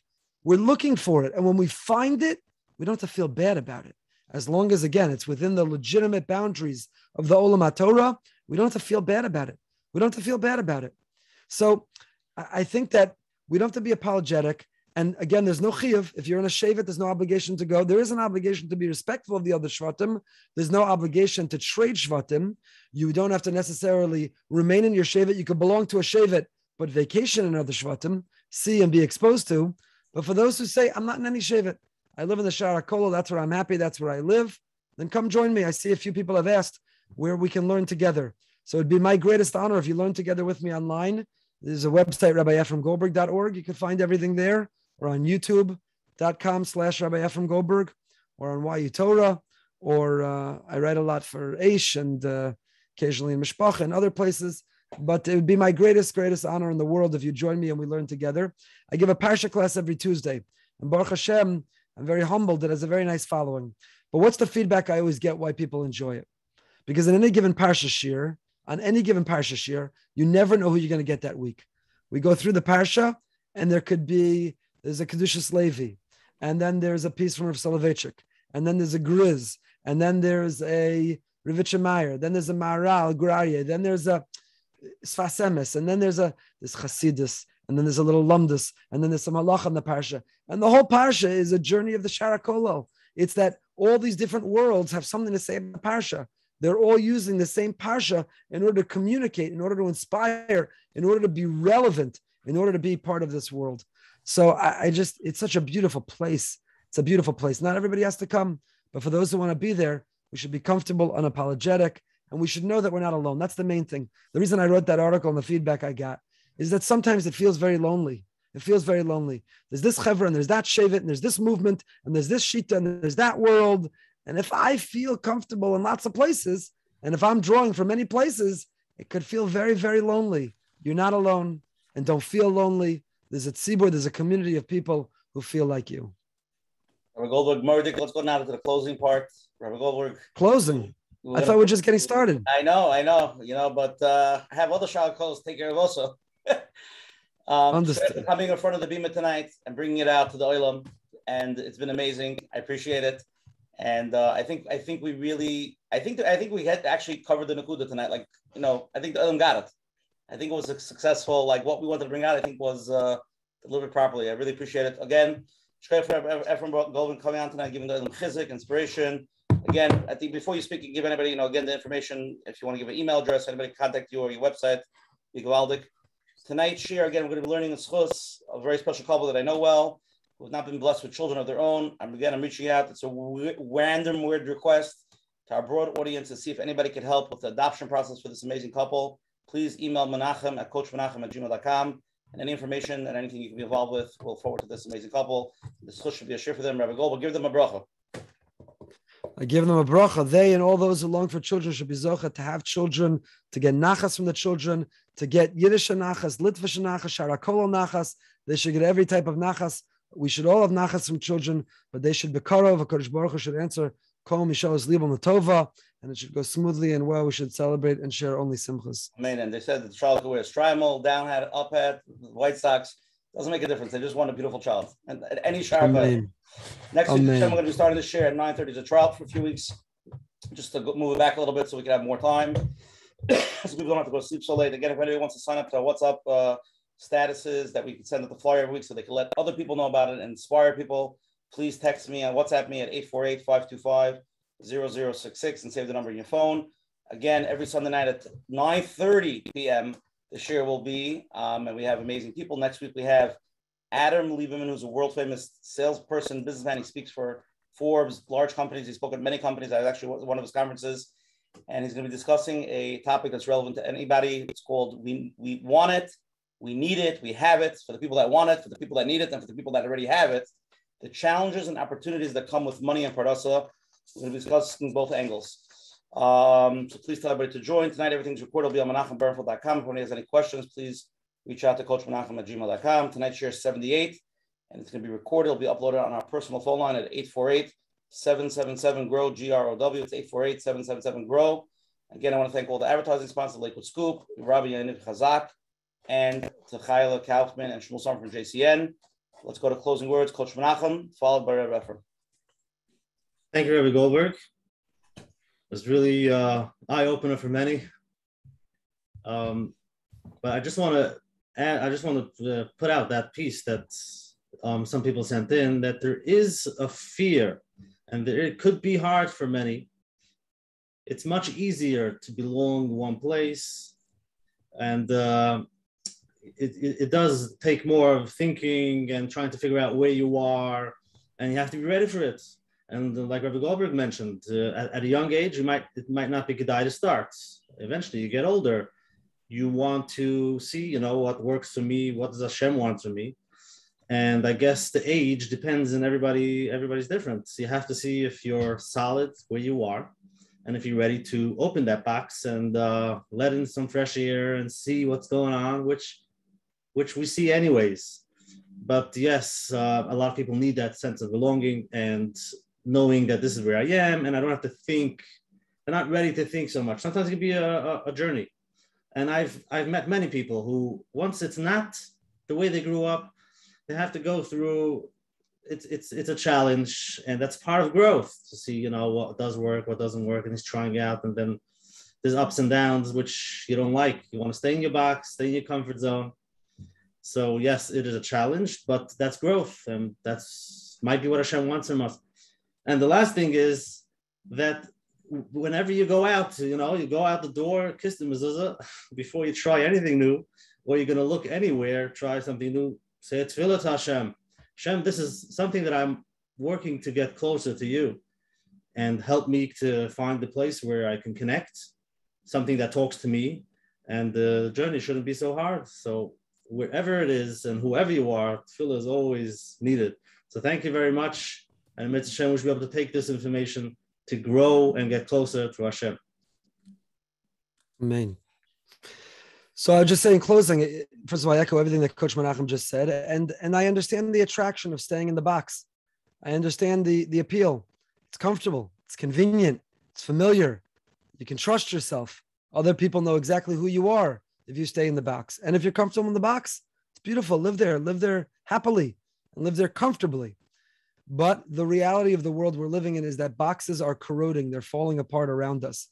Even the people who want to live in the box to a certain degree can't because we are exposed to, we're invited to, we have opportunities to learn, to see. And I think that if we're in charge and controlling it, if we're filtering it and channeling it, if we are promoting it, then we could do a much better job of being kosher v'yosher than if the box just disintegrates and people find themselves in unfamiliar circumstances. To the degree to which that we can share and promote the Olam Torah, the Shara Kolel, the Shivim Panim La Torah, the Elvela Divra Kim Chayim, that we can respect one another and we can love one another and we can make room for one another. And that even if we're proud and comfortable where we are, we recognize that there are other paths and there are other opportunities, and one is not superior or inferior to another. To the best, we can learn from it. And if even if we don't learn from it, minimally we can respect it. And in the end, all of it will make us much richer for it. It'll be a much more beautiful world. If a person feels connected to Amech, then kulam tzadikim. As long as you're part of Amech, so we should be zocha to value our diversity and to celebrate unity with a sense of achtus and achtus. That when Mashiach comes, everybody knows the uh, everybody knows the poem about Mashiach. You know the Mashiach poem, which hat he keeps coming to a different place. He's wearing the wrong hat. By the end, he gives up and he says, "They're not ready for me yet." So I'll tell you, when Eli Mansour spoke in our shul once, he said, "Again, I'm, I'm self-promoting, but too bad you invited me on. So I'm going to promote our community in closing. Everyone's invited. You're welcome to come. But Rav Mansour said, he said, you know, I think Mashiach's going to come through here first on his way. He said, and I'll tell you why. He said, because you know, when you have a parent, let's say you have a lot of children, this child doesn't talk to this child, this child doesn't get along with that child, the child will never host this child, that child doesn't get along with that child. But then you have a child, one of your children, who has all of their siblings. This is the child who they're all comfortable coming to. This is the child where they have the reunion nap because they're all okay being there. That's where the parent wants to be most. Where does the parent want to be, if not among the child, where all the children could feel comfortable? So he said, Mashiach comes, he's going to come through this shul because all the children have a place and all the children can feel comfortable. There's a place for everyone here. Nobody's being locked out. So we should value our diversity, celebrate our unity. In the right time, we should open our minds, not too early and not with the wrong reasons, in a way that we can celebrate the sense of achdus in order to ultimately marbekot shemayim, to get close to the Ribbon Shalom, in order ultimately to live the Amita Shal Torah and the Mitzvah Shem to be able to celebrate the Geula Shlema b'meira v'yameinu. Thank you, Rabbi Goldberg, for coming on. Beautiful. See everybody next uh, Sunday night, November 7th, uh, 9.30. Looking forward Let's Get Real, Coach Menachem. And we're changing the name to Let's Get Real with Coach Menachem, Shahar Koil. Good night.